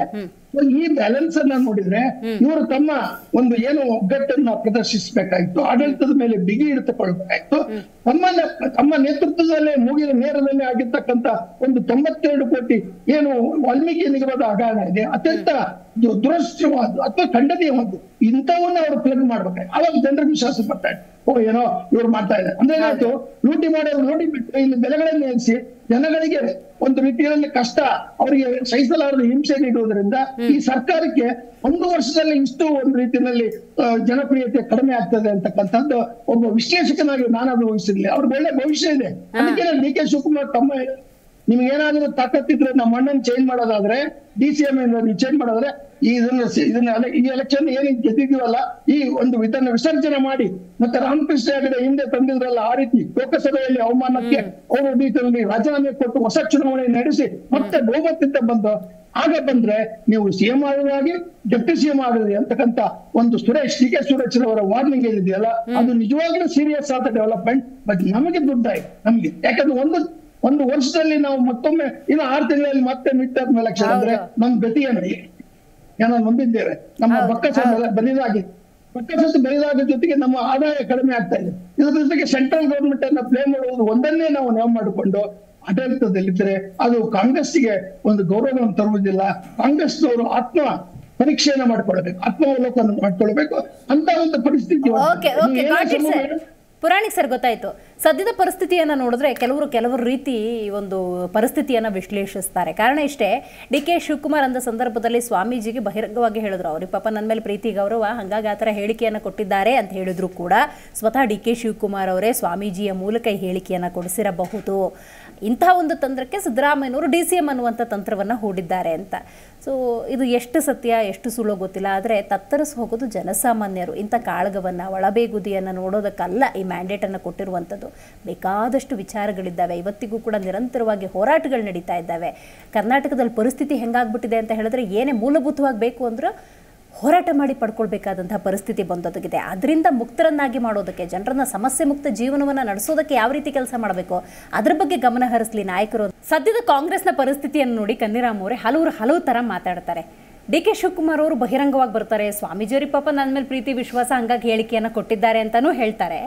ಅಂತ ಹೇಳಿದ ಸಂದರ್ಭವನ್ನು ಜನ ಗಮನಿಸಿದ್ದು ಕೂಡ ಸ್ವತಃ ಸ್ವಾಮೀಜಿ ಬಾಯಿಂದನೇ ಡಿ ಕೆ ಶಿವಕುಮಾರ್ ಹಿಂಗೆ ಹೇಳಿಸಿದ್ದಾರೆ ಅಂತ. ನಿಜಾನ ಅಂತ ಒಂದು ಕ್ಲಾರಿಟಿ ಬೇಕು. ಎರಡನೇದಾಗಿ, ಯಾವಾಗ ಡಿ ಕೆ ಶಿವಕುಮಾರ್ ಬಣದಿಂದ ಸಿ ಎಂ ಗಾದಿಗೆ ಆಗಾಗ ಹೇಳಿಕೆಗಳು ಬರ್ತಾವೋ ಡಿ ಸಿ ಎಂ ಹುದ್ದೆಯ ವಿಚಾರಗಳು ಮುಂದಕ್ಕೆ ಮುಂದಕ್ಕೆ ಬರ್ತವೆ. ಯಾಕೆ? ಯಾಕೆ ಈ ಥರ ಕೌಂಟ್ರ ಅದು? ಈಗಾಗಲೇ ನಾವು ಈ ಮಾತನ್ನ ಈಗಾಗಲೇ ನಾನು ಹೇಳಿದ್ದೀನಿ. ಆದರೂ ಇನ್ನೊಂದ್ಸಲ ನೀವು ಕೇಳ್ತಾ ಇದ್ದೀರಿ. ನೋಡಿ ಡಿ ಕೆ ಸಾಹೇಬರು ಏನು ಹೇಳಿದ್ದಾರೆ? ಇದು ನಾನು ಅವ್ರಿಗೆ ಹೇಳಿಸಿಲ್ಲ. ಅವರು ಸ್ವಯಂವಾಗಿ ಅವ್ರು ಏನು ಮನಸ್ಸಿಗೆ ಬಂದು ಅವ್ರು ಹೇಳಿದ್ದಾರೆ. ನಾನು ಹೇಳಂತ ಅವ್ರಿಗೆ ಹೇಳಿಲ್ಲ. ಅದಕ್ಕೆ ಸ್ವಾಮೀಜಿನ ಚಂದ್ರಶೇಖರ ಸ್ವಾಮೀಜಿನ ಹೇಳಿದ್ದಾರೆ. ಅವರು ಮೂರು ದಿವಸ ಬಿಟ್ಟು ನೋಡಿ ನನಗೆ ಯಾರು ಹೇಳಿಸಿಲ್ಲ. ನನಗೆ ನನಸಿದ್ದು ನನ್ನ ಜನಾಂಗದ ಬಗ್ಗೆ ನಾನು ಹೇಳಿದ್ದೀನಿ ಅಂತ ಅವರು ಹೇಳಿದ್ರು. ಆ ನಂತರ ಇವರು ಮತ್ತೆ ಡಿ ಕೆ ಸಾಹೇಬರು ಇವತ್ತೇನು ಹೇಳ್ತಾರೆ? ನೋಡಿ ಇದು ಯಾರು ಮಾತಾಡಬಾರ್ದು. ಯಾರು ಮಾತಾಡಿದ್ರೆ ಏನಾಗುತ್ತೆ? ಪಕ್ಷದಲ್ಲಿ ಸ್ವಲ್ಪ ಅಲ್ಲಿ ಏನೋ ನಾನು ಒಂದು ಬೇರೆ ಥರ ಕಾಣ್ತಿದೆ ಜನಗಳಲ್ಲಿ. ಅದರಿಂದ ನಾನು ಖರ್ಗೆ ಸಾಹೇಬರು ಮತ್ತು ಸಿದ್ದರಾಮ ಸಾಹೇಬ್ರೆ ನಾವು ಮಾತಾಡಬೇಕಾಗ್ತದೆ. ನೀವು ಯಾರು ಮಾತಾಡ್ಕೊಡೋದು ಅನ್ನೋದು ಡಿ ಕೆ ಸಾಹೇಬರು ಇವತ್ತು ಹೇಳಿದ್ದಾರೆ. ಖರ್ಗೆ ಸಾಹೇಬರು ಹೇಳಿದ್ದಾರೆ. ಅಂದ್ರೆ ಅಷ್ಟೊಂದು ಅಶಿಸ್ತಿ ಯಾಕೆ? ಮಾಧ್ಯಮದ ಮುಂದೆ ಮಾತಾಡುವಂತಹ ಅದನ್ನೇ ಮಾಧ್ಯಮ ಮುಂದೆ ಮಾತಾಡಬೇಡಿ. ನೀವು ಬಂದು ಏನು ಕಾಂಗ್ರೆಸ್ ಪಕ್ಷದಲ್ಲಿ ಮಾತಾಡಬೇಕು ಅಧ್ಯಕ್ಷರ ಜೊತೆ ಮಾತಾಡಬೇಕು ಸಿಎಂ ಜೊತೆ ಮಾತಾಡಬೇಕು ಇಲ್ಲ ನಮ್ಮ ಎ ಎಸ್ ಎಸ್ ಅಧ್ಯಕ್ಷ ಜೊತೆ ಮಾತಾಡಬೇಕು ಇಲ್ಲ ನಮ್ಮ ಉಪ ನಮ್ಮ ಏನು ವಿರೋಧ ಇಲ್ಲ ಪಕ್ಷದ ಅಲ್ಲ ಇಲ್ಲ ಅಲ್ಲ ನೀವು ಹೇಳಬೇಡಿ ನಮ್ಮ ಕಮಾಂಡ್ ಮಾತ್ರ ಹತ್ರ ಇದೆ ಅದಕ್ಕೆ ನಾವು ನೂರ ಮೂವತ್ತಾರು ಗೆದ್ದಿದ್ದು. ಅಲ್ಲ ಸರ್ ಆ ಕಮಾಂಡ್ ಜನ ಕೊಡೋ ಅಭಿಪ್ರಾಯಕ್ಕೂ ಬಾಳ್ ಡಿಫ್ರೆನ್ಸ್ ಇದೆ. ಇಲ್ಲ ಮೇಡಮ್ ಏನಾಗ್ತದೆ? ಈಗ ನೋಡಿ ಬೇಗುದಿ ಕಾಂಗ್ರೆಸ್ ಬೇಗುದಿ ಅಂತ ಹೇಳ್ತೀರಿ. ಹೌದು. ಕಾಂಗ್ರೆಸ್ ಅಲ್ಲಿ ಏನು ಕಾಳಗ ಅಂತೀರಿ? ಬಿಜೆಪಿನಲ್ಲಿ ಕಾಳಗಿಲ್ವೇನು ಅಲ್ಲ ಸರ್ಕಾರ ಅಲ್ಲ. ಅಶೋಕ್ ಅವರು ಚೇಂಜ್ ಮಾಡಕ್ ರೆಡಿ ಇದ್ದಾರೆ. ಅನಂತರ ವಿಜೇಂದ್ರ ರೆಡಿ ಮಾಡಕ್ ರೆಡಿ ಇದ್ದಾರೆ. ಬಿಜೆಪಿ. ರವಿ ಅವರು ಬರ್ತಿದ್ದಾರೆ. ಅಲ್ಲಿನೂ ಇದೆ. ಆಡಳಿತ ಪಕ್ಷ ಮತ್ತು ಇನ್ನೊಂದು ಯಾವ್ದೋ ಪ್ರತಿಪಕ್ಷ ಇದೆ ಅಂದಾಗ ಅಲ್ಲಿನ ಬೇಗುದಿಗೂ ಆಡಳಿತ ಪಕ್ಷದ ಬೇಗುದಿಗೂ ಬಹಳ ವ್ಯತ್ಯಾಸ ಇದೆ. ಅಲ್ಲ, ನೂರ ಮೂವತ್ತೈದು ಜನ ವಿಶ್ವಾಸ ನಿಮ್ಗೆ. ಆಡಳಿತ ಪಕ್ಷದ ಎಲ್ಲಾ ಮುಖ್ಯ ಆಗುತ್ತೆ. ಯಾಕಂತ ಹೇಳಿದ್ರೆ ನಮ್ದು- ಅದರಿಂದ. ಡೈರೆಕ್ಟ್ ಸಫರ್ ಆಗುವಂತದ್ದು ಜನರು. ಅದನ್ನ ತಲೆಯಲ್ಲಿ ಇಟ್ಕೊಳ್ಳಿ. ಅಧಿಕಾರದಿಂದ ಬರ್ಬೋದು, ಸ್ವಲ್ಪ ಮತ್ತ್ ಸ್ವಲ್ಪ ಕಡೆ ಮಾತಾಡಿ ನಿಮ್ ಪಕ್ಷದೊಳಗಡೆ ಏನೇ ಇರಲಿ. ನಿಮ್ಮ ನಿಮ್ ಪಕ್ಷದ ಕೇಳ್ತಾ ಇಲ್ಲ ನಾವು. ರಾಜ್ಯ ಜನರ ಬಗ್ಗೆ ಕೇಳ್ತಾ ಇದ್ದೀವಿ. ಬೇಗುದಿದೆ ಅವ್ರ ಹತ್ರನು ಇದೆ. ನಮ್ಮ ಹತ್ರ ಅಧಿಕಾರಿ ಇದೆ. ಅಧಿಕಾರ ಅವ್ರು ಮಾಡ್ತಾರೆ ನಾವು ಹಂಗೆ ಮಾಡ್ತೀವಿ ಮಾಡೋದು. ನೋಡಿ ನೀವು ಅಧಿಕಾರ ಇದ್ದಾಗ ಹೆಚ್ಚು ಕಡಿಮೆ ನನಗೂ ಬೇಕು ನಿನಗೂ ಬೇಕು ಅನ್ನೋದು ಆಸೆ ಇರುತ್ತದೆ. ಅವ್ರು ಕೇಳ್ತಾರೆ ಕೇಳಿದಾಗ ಏನಪ್ಪಾ ಅಂದ್ರೆ ಇದನ್ನ ನೀವು ಯಾಕೆ ಕೇಳಿದ್ರು ನಾವು ಹೇಳಕ್ಕೂ ಆಗಲ್ಲ. ಅದನ್ನ ನಮ್ಮ ಅದನ್ನ ಯಾರು ನೋಡ್ಕೋಬೇಕು ನಮ್ಮ ರಾಜ್ಯಾಧ್ಯಕ್ಷರು ನೋಡ್ತಾರೆ ನಮ್ಮ ಎಸ್ ಎಸ್ ಅಧ್ಯಕ್ಷರು ನೋಡ್ತಾರೆ ರಾಹುಲ್ ಗಾಂಧಿ ಅವ್ರು ನೋಡ್ತಾರೆ. ಸೋನಿಯಾ ಗಾಂಧಿನು ಅವರು ನೋಡ್ತಾರೆ. ಅಲ್ಲ ಇಟ್ ಶುಡ್ ಬಿನ್ ಕಂಟ್ರೋಲ್ ಅಲ್ವಾ ಸರ್ ಅಲ್ಲ ಕಂಟ್ರೋಲ್. ಮಾತಾಡಬಾರ್ದು. ಅಲ್ಲ ನೋಡಿ ಮಾತಾಡಬಾರ್ದು ಅಂತ ಅದನ್ನೇ ಡಿ ಕೆ ಸಾಹೇಬ್ ಹೇಳಿದಾರಲ್ಲ. ಯಾರು ಮಾತಾಡ್ಕೊಡುದು? ಸುಮ್ಮನೆ ಇರಿ. ಮಾತಾಡ್ಕೊಡುದು ಸುಮ್ಮನೆ ಇರಿ ಅಂತ ಅವ್ರು ಹೇಳ್ತಿದ್ದಾರೆ. ಅದಕ್ಕೆ ಇನ್ನು ಮುಂದೆ ಯಾರು ಮಾತಾಡಕ್ ಹೋಗಲ್ಲ. ಇದೇನು ಹಿಂದೆ ಈಗ ಪುರಾಣಿಕ್ ಸರ್ ಮಾತಾಡಿದ್ದನ್ನು ನೀವು ಗಮನಿಸಿದ್ರೆ. ಸಮುದಾಯಗಳ ಆಧಾರದಲ್ಲಿ ಡಿ ಸಿ ಎಂ ಹುದ್ದೆಯನ್ನ ಸೃಷ್ಟಿ ಮಾಡೋದನ್ನ ಅನ್ನೋ ಕಾನ್ಸೆಪ್ಟೇ ಇದೆಯಲ್ಲ ಇಟ್ ಇಸ್ ಇರ್ರೆಲೆವೆಂಟ್ ಅಂಥ ಒಂದು ದೊಡ್ಡ ಗೋಜಿ ಕೈ ಹಾಕೋದು ತಪ್ಪಾಗುತ್ತೆ. ಎಲೆಕ್ಷನ್ ಟೈಮಲ್ಲಿ ಸಮುದಾಯದಗಳ ಕಡೆಯಿಂದ ಮತವನ್ನು ತಗೊಳ್ಳೋದು ಬೇರೆ. ಸಮುದಾಯದ ಹೆಸರಲ್ಲಿ ಡಿ ಸಿ ಎಂ ಹುದ್ದೆ ಸೃಷ್ಟಿ ಮಾಡೋದು ಎಷ್ಟು ಅಪಾಯಕಾರಿ ಅಂತ. ಇನ್ನೂ ನಾಲ್ಕು ಸಮುದಾಯದವ್ರು ಬರ್ತಾರೆ. ಡಿ ಸಿ ಎಂ ಹುದ್ದೆಗಳನ್ನು ಸಾಲ್ ಸಾಲ್ ಮಾಡ್ಕೊಂಡು ಹೋಗಕ್ಕೆ ಸಾಧ್ಯವೇ? ಅಲ್ಲಿ ಮೂರು ಸಿಎಂಗಳು ಅವ್ರು ಮಾಡ್ತಾರೆ ಸರ್ ಅವ್ರು ಏನೋ ಮಾಡ್ತಾರೆ ನೀವು ಅದನ್ನೇ ಮಾಡಕ್ಕಾಗತ್ತಾ? ಅಲ್ಲಲ್ಲ, ಈಗ ನೀವು- ಮೂರು ಸಿಎಂ ಅವರು ಮಾಡಿದ್ರಲ್ಲ ಅವ್ರು ಏನೋ ಮಾಡ್ತಾರೆ ನೀವು ಅದನ್ನೇ ಮಾಡಕ್ಕಾಗತ್ತಾ?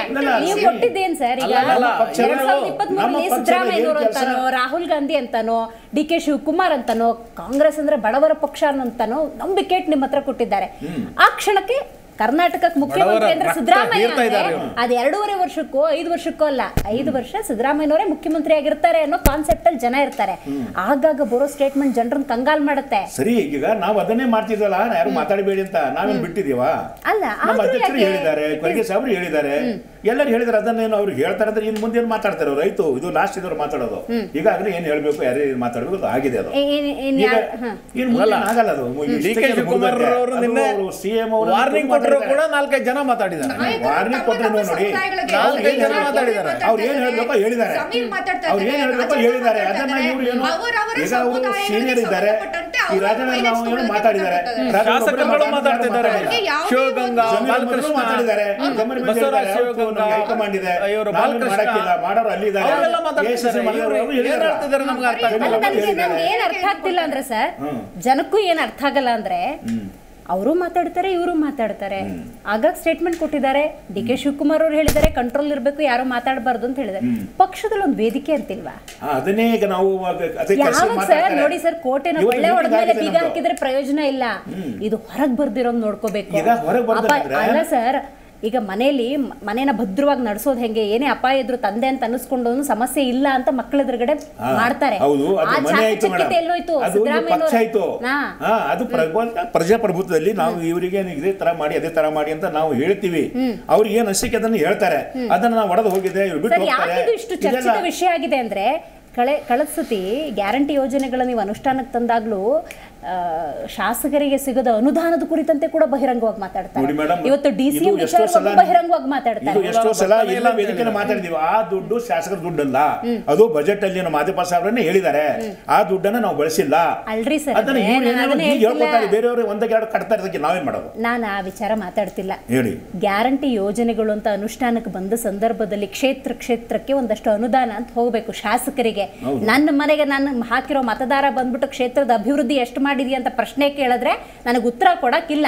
ಅನುದಾನ ಅನ್ನೋದು ಬರಬೇಕು ಅಂತ ಹೇಳಿ ಬಹಿರಂಗವಾಗಿ ಪಾಟೀಲ್ ಅವರು ಮಾತಾಡಿದ್ರು ನಿಮಗೆ ನೆನಪಿರಬಹುದು ಸೊ ಇಂಥ ಹೇಳಿಕೆಗಳನ್ನ ಶಾಸಕರೇ ಮಾತಾಡಬೇಕಾದ್ರೆ ಬಹಿರಂಗವಾಗಿ ಕೊಡಬೇಕಾದ್ರೆ ಎಲ್ಲೋ ಹಿಡಿತ ಮಿಸ್ ಆಗಿದೆ. ಈ ಹಿಡಿತ ಮಿಸ್ ಆಗೋದು ಬಿಜೆಪಿ ಪ್ಲಸ್ ಪಾಯಿಂಟ್ ಆಗುತ್ತೆ. ಇಲ್ಲ ಏನು ಹಿಡಿತ ಆಗಿಲ್ಲ ಏನಾಗಿಲ್ಲ. ಶಾಸಕರಿಗೆ ಏನು ಕೊಡಬೇಕು ಶಾಸಕರು ಕೊಡ್ತಿದ್ದಾರೆ. ಶಾಸಕರು ಏನು ಕೆಲಸ ಮಾಡಬೇಕು ಅದನ್ನು ಮಾಡ್ತಿದ್ದಾರೆ. ಈಗ ನಮ್ಮ ಓಟ್ ಕೊಟ್ಟವ್ರೆ ಓಟ್ ಕೊಟ್ಟಿದ್ದಕ್ಕೆ ನಾವು ಅವ್ರು ಕೆಲಸ ಮಾಡಿದ್ರೆ ನಮಗೆ ಬಿಡ್ತಾರ ಅವರು. ಈಗೇನೋ ಹೇಳ್ಕೊಳ್ತೀವಿ ಅವ್ರು ಮಾಡಿಲ್ಲ ಆ ಕಾಲ ದೂರ ಇಲ್ಲ. ಅಂತ. ಜನ ಏನ್ ಮಾತಾಡ್ತಿದ್ದಾರೆ ಅಂದ್ರೆ ಜನ. ಬೀದಿಗೆ ಬಿಂದು ಸರ್ ನಾನು ಹೇಳ್ತೀನಿ ಇದೇ. ವೇದಿಕೆಯಲ್ಲಿ ಇದೇ ವೇದಿಕೆಯಲ್ಲಿ ಕನ್ನಿರಾಮ್ ಸರ್ ಕೇಳ್ಕೊಳ್ಳಿ ಅಂಗನವಾಡಿ ಆಶಾ ಕಾರ್ಯಕರ್ತರಿಂದ ಹಿಡಿದು ಪೌರ ಕಾರ್ಮಿಕರಿಂದ ಹಿಡಿದು ಖಾಸಗಿ ವಾಹನ ಚಾಲಕರು ಸಂಚಾಲಕರು ವಾಹನ ಮಾಲೀಕರಿಂದ ಹಿಡಿದು ಪ್ರತಿಯೊಬ್ಬರು ಕೂಡ ಈ ವೇದಿಕೆಯಲ್ಲಿ ಬಂದು ಮಾತಾಡಿದ್ದಾರೆ. ಗ್ಯಾರಂಟಿ ಯೋಜನೆಗಳನ್ನು ನಾವು ಕೇಳಿರಲಿಲ್ಲ ಆದರೆ ನಮಗೆ ಕೊಡಬೇಕಾದಂತಹ ಸಂಬಳದಿಂದ ಹಿಡಿದು ಅನುದಾನದಿಂದ ಹಿಡಿದು ಕ್ಷೇತ್ರದ ಅಭಿವೃದ್ಧಿಗೆ ಯಾವುದೇ ಸಹಕಾರ ಕೊಡ್ತಿಲ್ಲ. ಅಂಗನವಾಡಿ ಕಾರ್ಯಕರ್ತರು ಮೊಟ್ಟೆ ಸಪ್ಲೈ ಆಗ್ತಿಲ್ಲ ಅಂತಾರೆ ಇವತ್ತು.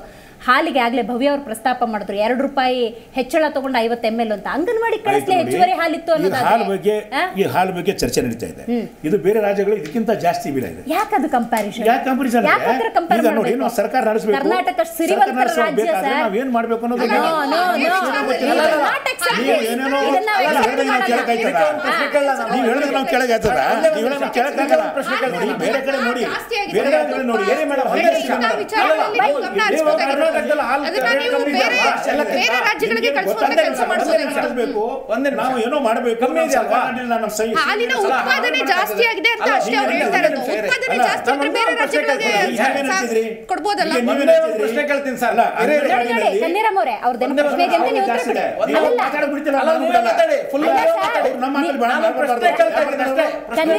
ನಿಮಗೆ ಒಂದು ಪ್ರಶ್ನೆ ಕೇಳ್ತಿದ್ದಾರೆ ಪ್ರಶ್ನೆ ಪ್ರತಿಪಕ್ಷದವರು. ಸರ್, ನಾವು ಪ್ರಶ್ನೆ ನೀವು- ಕೇಳಿ ನಾನು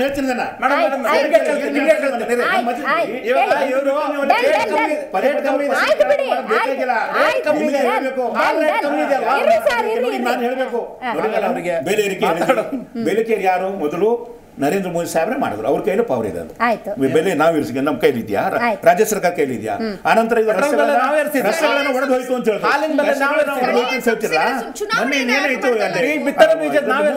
ರಸ್ತೆ ಒಡೆದು ಒಂದು ತೋರಿಸಿಲ್ವಾ? ಒಂದು ಆರು ತಿಂಗಳಿಂದ ಆಗಿಲ್ವಲ್ಲ? ಬೆಲೆ ನಾವೇ ಇವ್ರು ಬೆಲೆ ರೇಟು ಅದು ಇದು ಅಂತ ಹೇಳ್ತಾರೆ. ಮಾಡಿದ್ರೆ ಅವ್ರೇನೆ ಅವ್ರು ಮಾಡಿದಕ್ಕೆ ನಾವು ಗ್ಯಾರಂಟಿ ಮಾಡಿದ್ದು ಬಡವರಿಗೆ ಕೊಟ್ಟಿದ್ದಕ್ಕೆ ಇವರಿಗೆ ಸಮಾಧಾನ ಇಲ್ಲ ಸರ್, ಸರ್, ಇವ್ರೇನು ನಮ್ಮ ದುಡ್ಡು ಎಲ್ಲ ಅವ್ರಿಗೆ ಕೊಟ್ಟಿದ್ದಾರೆ ಅವ್ರ ದುಡ್ಡು ನಿಮ್ಗೆ ಕೊಟ್ಟಿದ್ದಾರೆ. ಯಾರ ದುಡ್ಡು ಯಾರ್ದಿಲ್ಲ ರೀ? ಇವ್ರು ಯಾರ ದುಡ್ಡಿದೆ ಅದು? ಜನದ ದುಡ್ಡಿದೆ ಜನಗೆ ಕೊಡ್ಬೇಕು ನಾವು. ಅದು ಬಿಟ್ಟು ನಾವೇನೇನೋ ಮಾತಾಡ್ತೀವಿ ಅಂದ್ರೆ ಏನಾಗುತ್ತೆ. ಇದು ಜನರ ದುಡ್ಡು ಜನರಿಗೆ ಕೊಡ್ತಾ ಇದ್ದಾರೆ. ಸರ್ವ ಜನಾಂಗದ ಶಾಂತಿಯ ತೋಟ. ನಾವೇನೇನ್ ಯೋಜನೆಗಳನ್ನು ಹಾಕೊಂಡಿದೀವಿ ಅದನ್ನ ಕೊಡ್ತೀವಿ ಹೊರತು ಇಲ್ಲಿ ಯಾವ್ದು ಅನ್ಯಾಯ ಆಗ್ತಿಲ್ಲ ಅನ್ನೋ ಕ್ಲಾರಿಟಿ ಇದೆ ಅವರಿಗೆ. ಅವರು ಮಾತು ಮಾತಿಗೂ ನರೇಂದ್ರ ಮೋದಿ ಅವ್ರು ಮಾಡಿದ್ರು ಬೆಲೆ ಏರಿಕೆ ಹರಿಕಾರರು. ಅಂತ ಹೇಳ್ಕೊಂಡು ಅವರು ಮೊದಲು ಹೇಳಿದ್ರು. ಆಯ್ತಾ? ಅದ್ರ ಸಂಬಂಧ ಇಲ್ಲ ಇದಕ್ಕೆ ಚಂಬಿ ಪುರಾಣಕ್ ಸರ್ ಒಂದು ಒಳ್ಳೆ ಮಾತು ಹೇಳಿದ್ರು. ಏನಂತ ಹೇಳಿದರೆ ಸಿದ್ದರಾಮಯ್ಯನವರ ಹಳೆಯ ಕಾರ್ಯವೈಖರಿ ನಾವು ನೋಡ್ತಾ ಇಲ್ಲ ಅಂತ ಫಸ್ಟ್ ಹೇಳಿದರು. ಎರಡನೇದಾಗಿ ಹೇಳಿದರು ನೀವು ರಾಜ್ಯ ಸರ್ಕಾರವನ್ನು ನಡೆಸುವಾಗ ಬಡವರ ಬಗ್ಗೆ ಕಾಳಜಿಯನ್ನು ತೋರಬೇಕಾದಾಗ ನೀವು ಕೇವಲ ಯಾವುದು ಸೆಂಟ್ರಲ್ ಗೌರ್ಮೆಂಟನ್ನು ಕೈ ತೋರಿಸುವಂಥ ಕೆಲಸವನ್ನು ಮಾಡಬಾರ್ದು ಭ್ರಷ್ಟಾಚಾರವನ್ನು ಕಡಿವಾಣ ಹಾಕಬೇಕು ಆನಂತರ ಎಕ್ಸ್ಪೆಂಡಿಚರನ್ನು ಕಡಿಮೆ ಕಡಿಮೆ ಮಾಡಿಸ್ ಮಾಡಿಸ್ಬೇಕು ಸರ್ಕಾರದಲ್ಲಿ ಆವಾಗ ನಿಮಗೆ ಸರಿಯಾಗಿ ಸರ್ಕಾರವನ್ನು ರನ್ ಮಾಡೋಕ್ಕಾಗತ್ತೆ ಅಂತ ಹೇಳಿದರು. ಅದನ್ನು ನಾನು ಒಪ್ತೀನಿ. ನಾನು ನಿಮ್ಗೆ ಸಿಂಪಲ್ ಆದ ಒಂದು ಡೇಟಾ ಕೊಡ್ತೀನಿ. ನಮ್ಮ ಕರ್ನಾಟಕ ರಾಜ್ಯದ budget three point one seven lakh crore ಮೂರು ಪಾಯಿಂಟ್ ಒಂದು ಏಳು ಲಕ್ಷ ಕೋಟಿ. ಅದರಲ್ಲಿ ಈ ಸ್ಯಾಲ್ರಿ ಮತ್ತೆ ಎಕ್ಸ್ಪೆಂಡಿಚರ್ಸು ಅದು ಇದೆಲ್ಲ ಹೋಗಿ ಎಂಬತ್ತು ಸಾವಿರ ಕೋಟಿಯಷ್ಟು ಹಣ ಅಭಿವೃದ್ಧಿ ಕಾರ್ಯಕ್ಕೆ ಉಳಿತದೆ. ಆಯ್ತಾ? ಎಂಬತ್ತು ಸಾವಿರ ಕೋಟಿ. ಎಂಬತ್ತು ಸಾವಿರ ಅಂತ ನಾನು ಒಬ್ಬರು ಇವರು ಆರ್ಥಿಕ ತಜ್ಞರ ಹತ್ರ ಕೇಳಿರುವಂಥದ್ದು. ಎಂಬತ್ತು ಸಾವಿರ ಕೋಟಿ ಉಳಿದಿದ್ರಲ್ಲಿ ಇವರೀಗ ಹೊಸದಾಗಿ ಏನು ಗ್ಯಾರಂಟಿ ತಂದಿದ್ದಾರೆ. ಅದಕ್ಕೆ ಐವತ್ತಾರು ಸಾವಿರ ಕೋಟಿ ಅಂತ ಹೇಳಿದ್ದಾರೆ. ಐವತ್ತಾರು ಸಾವಿರ ಕೋಟಿ ಅಂದ್ರೆ ಉಳಿದ ಎಷ್ಟು ಉಳಿತು? ಎಂಬತ್ ಎಂಬತ್ನಾಲ್ಕು ಸಾವಿರ ಕೋಟಿ ಅಂದ್ರೆ ಸುಮಾರು ಇಪ್ಪತ್ತೆಂಟು ಸಾವಿರ ಮೂವತ್ತು ಸಾವಿರ ಕೋಟಿ ಉಳಿತು. ಮೂವತ್ತು ಸಾವಿರ ಕೋಟಿ ಉಳಿದ ನಂತರ ನೆಕ್ಸ್ಟ್ ಇವರು ಬೆಲೆ ಏರಿಕೆ ಮಾಡಿದ್ದಾರೆ. ಸುಮಾರು ವಸ್ತುಗಳ ಬೆಲೆ ಏರಿಕೆ ಮಾಡಿದ್ದಾರೆ. ಅಲ್ವಾ? ಅದು ಎಕ್ಸ್ಟ್ರಾ ಹಣ ಬರೋದಲ್ವಾ. ಅದು ಸುಮಾರು ಒಂದು ಇಪ್ಪತ್ತು ಸಾವಿರ ಮೂವತ್ತು ಸಾವಿರ ಕೋಟಿ ಆಯಿತು. ಅಂದರೆ ಅಮೌಂಟು ಕರೆಕ್ಟಾಗಿ ಎಂಬತ್ತು ಸಾವಿರ ಕೋಟಿ ಎಪ್ಪತ್ತು ಎಂಬತ್ತು ಸಾವಿರ ಕೋಟಿ ಹತ್ರನೇ ಬರ್ತಾ ಇದೆ. ಈ ದುಡ್ಡು ಎಲ್ಲಿಗೆ ಹೋಗ್ತಾ ಇದೆ. ಉತ್ತರಿಸಿ ಸಿದ್ದರಾಮಯ್ಯನವರೇ ಉತ್ತರಿಸಿ ಡಿ ಕೆ ಶಿವಕುಮಾರ್ ಅವರೇ ಉತ್ತರಿಸಿ ಕಾಂಗ್ರೆಸ್ ಅವರೇ. ಅಲ್ಲಲ್ಲ ಹೋಗ್ತಾ ಇದೆ? ಉತ್ತರ ಅಲ್ಲ ಅಲ್ಲ ಅಲ್ಲ, ಒಂದ್ ನಿಮಿಷ. ಅವ್ರು ಬೇಡ. ನಾನು ನಾನು ಅಂತ ಹೇಳಿ. ಆಯ್ತಾ? ಈ ದುಡ್ಡು ಎಲ್ಲಿಗೆ ಹೋಗ್ತಾ ಇದೆ? ಇಲ್ಲ ಅಲ್ಲ ಸರ್ ನಾನು ಫುಲ್ಲು ಹೋಗ್ತಾ ನಿಮಗೆ ಇದೆ. ಫ್ಯಾಕ್ಟ್ ಇಟ್ಟಿದ್ದೀನಿ. ಅಭಿವೃದ್ಧಿಗೆ ಹೋಗ್ತಾ ಇದೆ. ಜನಗಳ ಎಲ್ಲಿಗೆ? ಹೋಗ್ತಾ ಇದೆ. ನಾನು ಈಗಲೂ ಹೇಳ್ತೀನಿ. ಇದೆ ಬೆಂಗಳೂರು ನಗರ ಪ್ರದೇಶ ತಗೋಣ. ಕರ್ನಾಟಕದ ರಾಜಧಾನಿ ಇದು. ಎರಡ್ ಸಾವಿರದ ಇಪ್ಪತ್ತ್ ಮೂರು ನವೆಂಬರ್ ಮೂವತ್ತು ಡೆಡ್ ಲೈನ್ ಕೊಟ್ಟಿದ್ದು ಗುಂಡಿ ಮುಚ್ಚಕ್ಕೆ. ಈಗಲೂ ಹೋಗಿ ಎಂ ಜಿ ರೋಡ್ ಅಲ್ಲಿ ನೂರ ಎಂಟು ಗುಂಡಿ ಸಿಗುತ್ತೆ. ಮುಚ್ಚಿದ್ದೀರಾ? ಎಲ್ಲ ಕಡೆ ಇದೆ. ಡಿ ಕೆ ಸಾಹೇಬ್ರು ಎಲ್ಲ ಕಡೆ ಆಯ್ತು ಮೇಡಮ್ ನನ್ನ ಇದು ಅವ್ರಿಗೆ ಅವ್ರ ಹತ್ರ ಅವ್ರ ಹತ್ರ ಉತ್ತರ ಇಲ್ಲ ಬಿಡಿ ಅದಕ್ಕೆ ಉತ್ತರ ಇಲ್ಲ ಅವರಿಗೆ. ಆಯ್ತಾ? ಅವ್ರ ಹತ್ರ ಈಗ ಹೇಳ್ತಾರೆ ಎಲೆಕ್ಷನ್ ಮಾಡ್ತಾರೆ. ಅವ್ರ ಹತ್ರ ಉತ್ತರ ಇಲ್ಲ ಮೇಡಮ್ ನಾನು ಹೇಳ್ತೀನಿ. ಪರ್ಯಟನೆ ಬೇಡ ಸರ್. ಹೋಗಿ ಪರಿಶೀಲನೆ ಮಾಡೋದು ಬೇಡ ಕೆಲಸ ಬೇಕು ಜನ ಹೇಳಿದಾರಲ್ಲ ಈಗ ಎಲೆಕ್ಷನ್ ಮೇಡಮ್, ಹೊರಗಡೆ ಬಂದಿದ್ದೇವಲ್ಲ ನಾನು ಇವಾಗ ನಿಮ್ಮ ಮೇಡಮ್ ಒಂದು ವರ್ಷ? ಮೇಡಮ್ ಅಲ್ಲ ಈಗ ಮಾಡ್ತಾರೆ? ಎಲೆಕ್ಷನ್ ಮುಗಿದ ನಂತರ ಲೋಕಸಭೆ ಎಲೆಕ್ಷನ್ ಮುಗಿದು ಅವಾಗ ಅದು ಕೊಡ ಕಂಡಿಟ್ಟಿದ್ದು ಒಂದು ವರ್ಷ ಎರಡು ತಿಂಗಳಾಯ್ತು ರೀ ಏನ್ ಹೇಳ್ತಿದ್ದೀರಾ ನೀವು? ಯಾವ ಈ ತರ ಎಲೆಕ್ಷನ್ ಹೋಗ್ಬೇಕು. ಅಲ್ಲಲ್ಲ ಮೇಡಮ್ ಒಂದು ನಿಮಿಷ. ಸ್ಥಳೀಯ ಸಂಸ್ಥೆ ಚುನಾವಣೆಗಳು ಮಾಡ್ತಾ ಇಲ್ಲ especially actually B B M P election ಇವಾಗ ಹತ್ತು ವರ್ಷ ಆಗ್ತಾ ಬರ್ತಾ ಇದೆ. ಎಲ್ಲಿ sir B B M P election ಜನ ಏನಾದ್ರೂ ಮಾತಾಡ್ಬೇಕಂದ್ರೆ ಡೈರೆಕ್ಟ್ ಅಧಿಕಾರಿಗಳನ್ನ ಕಾಂಟ್ಯಾಕ್ಟ್ ಮಾಡಬೇಕಾಗುತ್ತೆ. ಇವತ್ತು ಹೇಳ್ತೀನಿ ನಮ್ಮ ಏರಿಯಾ ಸಮಸ್ಯೆಗಳು ಕೂಡ ಅಧಿಕಾರಿಗಳನ್ನ ಕಾಂಟ್ಯಾಕ್ಟ್ ಮಾಡಕ್ ಹೋದ್ರೆ ಯಾರು ಸಿಗದೇ ಇಲ್ಲ. ಎಲ್ಲ ಎಲ್ಲಾದು ಸ್ವಿಚ್ ಆಫ್ ಇರುತ್ತೆ ಅಥವಾ ಬಿಸಿ ಇರ್ತಾರೆ ಇನ್ನೇನೋ ಇರುತ್ತೆ. ಕಾಂಟ್ರಾಕ್ಟರ್ಗಳ ಜೊತೆ ಏನೊಂದು ಒಪ್ಪಂದಗಳನ್ನ ಮಾಡ್ಕೊಂಡಿದ್ರು. ಇವತ್ತು ಅದೇ ಕಾಂಟ್ರಾಕ್ಟರ್ಗಳ ಮೇಲೆ ಕಾಂಗ್ರೆಸ್ ಸರ್ಕಾರ ತಿರುಗಿ ಬಿದ್ದಿದೆ. ಎಷ್ಟೊಂದ್ ಜನಕ್ಕೆ ಸರ್. ಹಣ ಕೊಡ್ತಾ ಇಲ್ಲ. ಅವ್ರ ಕ್ಲಾರಿಫೈ ತಗೊಂಡ್ಬಿಡ್ತೀನಿ. ಸೊ ಬಿಬಿಎಂಪಿ ಚುನಾವಣೆ ಯಾಕೆ ಅದನ್ನ ಹೇಳಿ. ಅಲ್ಲಲ್ಲ ನಾನು ಚುನಾವಣೆ ಕೇಳಿದ್ದಕ್ಕೆ ಉತ್ತರ ಬೇಕಿತ್ತು ನನಗೆ ಹೌದು. ಬಿಬಿ ಎಲೆಕ್ಷನ್ ಮಾಡ್ತೀವಿ ಬಿಬಿಎಂಪಿ ಎಲೆಕ್ಷನ್ ಎಂಬತ್ತು ಸಾವಿರ ಕೋಟಿ ಆಫೀಸರ್ ಜೊತೆ ಅದು ಏನು ಗ್ಯಾರಂಟಿ ಪಕ್ಕಕ್ಕೆ ಇಟ್ಟು ಅಲ್ಲ. ಕ್ಲಾರಿಫೈ ಏನು? ಅದು ಯಾವಾಗ ಆಗಿದೆ? ಅದು. ಹತ್ತು ವರ್ಷ ಎಲ್ಲ ಆಗ್ತದೆ. ಮಾತಾಡಿದ್ದಾರೆ. ವಿಭಜನೆ ಬಗ್ಗೆ- ಮಾಡಿದ್ದಾರೆ. ಅಲ್ಲ ವಿಭಜನೆ ಬಗ್ಗೆ ಕೂಡ ಹೇಳಿದ್ದಾರೆ. ಒಂದು ಕಾಲ ವರ್ಷ ಆಗೋಯ್ತು. ಎಷ್ಟು ವರ್ಷ ಆಯ್ತು? ವಿಭಜನೆ ಅಂತ? ಚುನಾವಣೆ ಸರ್ ಹಿಂದಿನಿಂದ ಚುನಾವಣೆ ಬಂದಿದೆ ಚುನಾವಣೆ ಮಾಡ್ತೀವಿ ಅಂತ ಬಿಜೆಪಿ ನಿನ್ನೆ ಮೊನ್ನೆಲ್ಲ ಅಧಿಕಾರ ವಿಭಜನೆಯನ್ನ.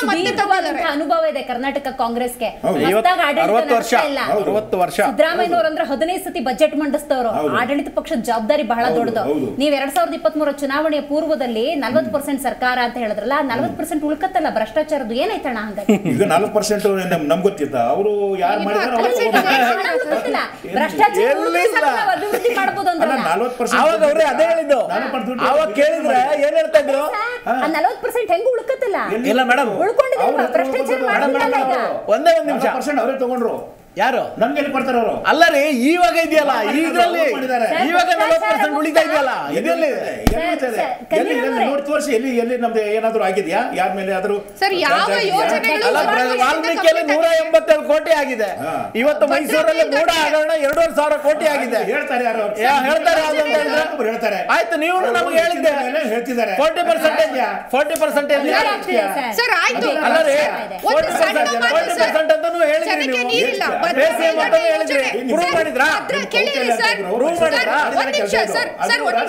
ಭದ್ರಾ ಮೇಲ್ದಂಡೆ ಯೋಜನೆ. ಮೇಕೆದಾಟು ಯೋಜನೆ.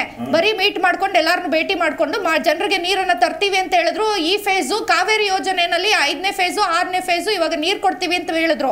ಯಾವ್ದಾದ್ರು ಒಂದ್ ಯೋಜನೆ ಕಂಪ್ಲೀಟ್ ಆಗಿದ್ಯಾ ಸರ್? ಜನರಿಗೆ ಮೂಲಭೂತ ಸೌಕರ್ಯ ಒದಗಿಸುವಂತ ಒಂದು ಯೋಜನೆ ಸೌಕರ್ಯ ಯಾವ ಎಲೆಕ್ಷನ್ ಮೂಲಭೂತ ಯಾವ ಎಲೆಕ್ಷನ್ ಹೇಳಿ? ಟ್ಯಾಕ್ಸ್ ಜಾಸ್ತಿ ಮಾಡ್ತೀರಾ ಪೆಟ್ರೋಲ್ ಡೀಸೆಲ್ ಎಲ್ಲ ಕೆಲಸ ಮಾಡ್ತೀರಾ? ಒಂದು ಮೂಲಭೂತ ಅದಕ್ಕೆ ಸೌಕರ್ಯ ನಮ್ಮ ಹೇಳಿ ಸರ್ ಏನ್ ನಡೀತಿದೆ ಹೇಳಿ ಸರ್ ಅದೇನು ಏರ್ಪೋರ್ಟ್ ಜನರಿಗೆ ತಳ್ಳಿ- ಆಯ್ತು, ಆಯ್ತು. ಎಲ್ಲಿ ಯಾರು ಸರ್ ಮಾಡಿದ್ರು? ಎಲ್ಲಿ ಏರ್ಪೋರ್ಟ್ ಬಿದ್ದಾಗಿ ನೀವೇ ಮಾಡಿದ್ದದು ಎಲ್ಲಿ ಹೋಯ್ತು? ದಂಡ, ಯಾರು ಮಾಡಿದ್ರಲ್ಲ? ಇಲ್ಲಿ- ಇಲ್ಲಿ ಯು ಸ್ಥಳೀಯ- P one U P two time ಅಲ್ಲೇ ಮಾಡಿರುವಂತ ಏರ್ಪೋರ್ಟ್ ಬಿದ್ದೋಗಿದ್ದು ನೀವೆಲ್ಲ ಸರ್. ಬಂದು ನೋಡಿ ಟರ್ಮಿನಲ್ ಟೂ ಸ್ಥಳೀಯ ಬಿದ್ದೋಗಿದ್ದಲ್ಲ ಅದು ಟರ್ಮಿನಲ್ ಒನ್ ಇವರೇ ಮಾಡಿರೋದು ಬಿದ್ದೋಗಿರೋದು ಸ್ಥಳೀಯ ಸಂಸ್ಥೆ ಬಗ್ಗೆ ಹೇಳಿ ಸರ್ ನಮ್ಮ ಸರ್ಕಾರಕ್ಕೆ ಎಷ್ಟು ವರ್ಷ ಆಯ್ತು ಎಲ್ಲಿ ಅಲ್ಲಿ ನೀವೇ ಮಾಡಿದ್ದು ಬಿಜೆಪಿನವರು ಮಾಡಿದ್ದು ಆಯ್ತು ಡನ್ ಡನ್ ಟೈಮಲ್ಲಿ ಈಗ ಕಂದಿರಾಮ್ ಅವರು ಕಾಂಗ್ರೆಸ್. ವಕ್ತಾರರು ಮೇಂಟೈನ್ ಒಂದ್ ವರ್ಷ ಒಂದ್ ವರ್ಷ ಅಷ್ಟೇ ಆಗಿದೆ ಸರ್ ಆಡಳಿತಕ್ಕೆ ಬಂದು. ಶೀಲಾ ದೀಕ್ಷಿತ್ ಒಂದ್- ಒಂದ್ ವರ್ಷ ಅಷ್ಟೇ ಆಗಿದೆ. ಎಲ್ಲ ನಾವು ಮಾಡ್ತೀವಿ ಅಂತಿದ್ದಾರೆ. ಸರ್ ಜನರಿಗೆ ಅಷ್ಟು ತಾಳ್ಮೆ ಇದೆಯಾ? ಜನರು ಅಷ್ಟು ತಾಳ್ಮೆಯಿಂದ ಕಾಯುವಷ್ಟು ವ್ಯವಧಾನ ಇರುತ್ತಾ? ಅಂದ್ರೆ ಯಾಕೆಂದ್ರೆ ಕಷ್ಟದಲ್ಲಿ ಬೆಂದು ಹೋಗಿದ್ದಾರೆ ಜನಸಾಮಾನ್ಯರು. ನಿಮ್ ಕ್ಲಾರಿಫಿಕೇಶನ್ ಏನ್ ಸರ್ ಇಲ್ಲ ಇವರ ಕಾರ್ಯ ಕಾರ್ಯವೈಖರಿ ಮತ್ತು ಒಂದು ವಿಳಂಬ ಮತ್ತೆ ನೆಪ ಕೊಡೋದು ರೀ ಅಂತಾರಲ್ಲ ಇಂಗ್ಲಿಷ್ನಲ್ಲಿ ಅಂದ್ರೆ ಅವ್ರು ಮಾಡಿದ್ದೇನು ಅದು ಮಾಡಿದ್ದೇನು ಯಾರು ಅದ್ಭುತ ಸಂಬಂಧ ಇಲ್ಲದೆ ಇರುವಂತ ಹೋಲಿಕೆಗಳನ್ನ ನಾವು ಮಾಡಬಾರ್ದು. ವಾಸ್ತವವಾಗಿ ಇವತ್ತು ಜನರ ಸಮಸ್ಯೆಗಳು ನಂಬರ್ ಒನ್ ಅದನ್ನ ಇವ್ರು ಟ್ಯಾಕಲ್ ಮಾಡ್ಬೇಕು. ಈಗ ಏನಾಗಿದೆ ನೀವು ಪೈಪೋಟಿ ಅಥವಾ ಕಾಳಗ ಅಂತ ಒಂದು ಟೈಟಲ್ ಕೊಟ್ರಲ್ಲ ಅದರ ಉದ್ದೇಶವಾದ್ರೂ ಏನು ಇಂತಹ ಒಂದು ಒಳಗಿನ ಇರ್ತಕ್ಕಂತ ಒಂದು ಏನ್ ಭಿನ್ನಮತ ಇದೆ ಅಥವಾ ನಿಮ್ ಗುಂಪುಗಾರಿಕೆ ಇದೆ ಅದನ್ನ ಸ್ವಲ್ಪ ಬದಿಗಿಟ್ಟು ಕರ್ನಾಟಕದ ಜನರ ಸಮಸ್ಯೆಗಳಿಗೆ ಆದ್ಯತೆಯನ್ನು ಕೊಡಿ ಎನ್ನುವ ದೃಷ್ಟಿಯಿಂದ ನಿಮ್ಮ ಒಂದು ಚರ್ಚೆಗೆ ಒಂದು ಮಹತ್ವ ಬರುತ್ತೆ ಅಥವಾ ಒಂದು ರೀತಿಯಲ್ಲಿ ವೀಕ್ಷಕರು ಅದನ್ನ ಗೌರವಿಸ್ತಾರೆ. ಅದು ಬಿಟ್ಟು ಇವ್ರು ಅವ್ರು ಮಾಡಿದ್ರು ಇವ್ರು ಮಾಡಿದ್ರು ಅಂದ್ರೆ ಏನಾಯ್ತು? ನಾನು ಕಳ್ಳ ನೀನು ಕಳ್ಳ ಅದರಿಂದ ಯಾರು ನಾವು ಕಳ್ತನದ ಬಗ್ಗೆ ಮಾತಾಡಬಾರ್ದು ಅಂತಕ್ಕಂಥದ್ದು ಈ ಒಂದು ಕರ್ನಾಟಕದ ಪ್ರಬುದ್ಧ ಜನತೆಗೆ ನೀವು ಮಾಡ್ತಕ್ಕಂಥ ಅವಮಾರ್ಯಾದ ಅಂತಕ್ಕಂಥ. ಕಾರಣ ಅವ್ರನ್ನ ಗೌರವಿಸಿದೆ.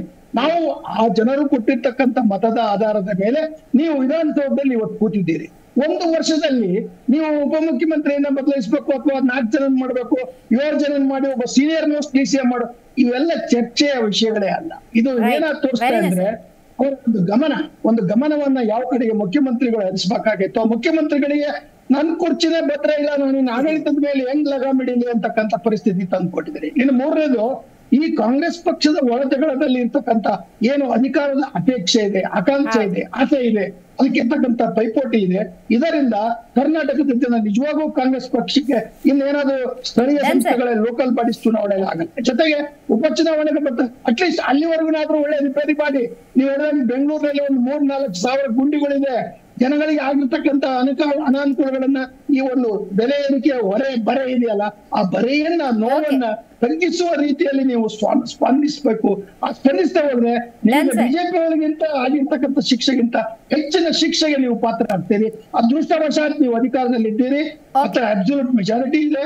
You take advantage and do something good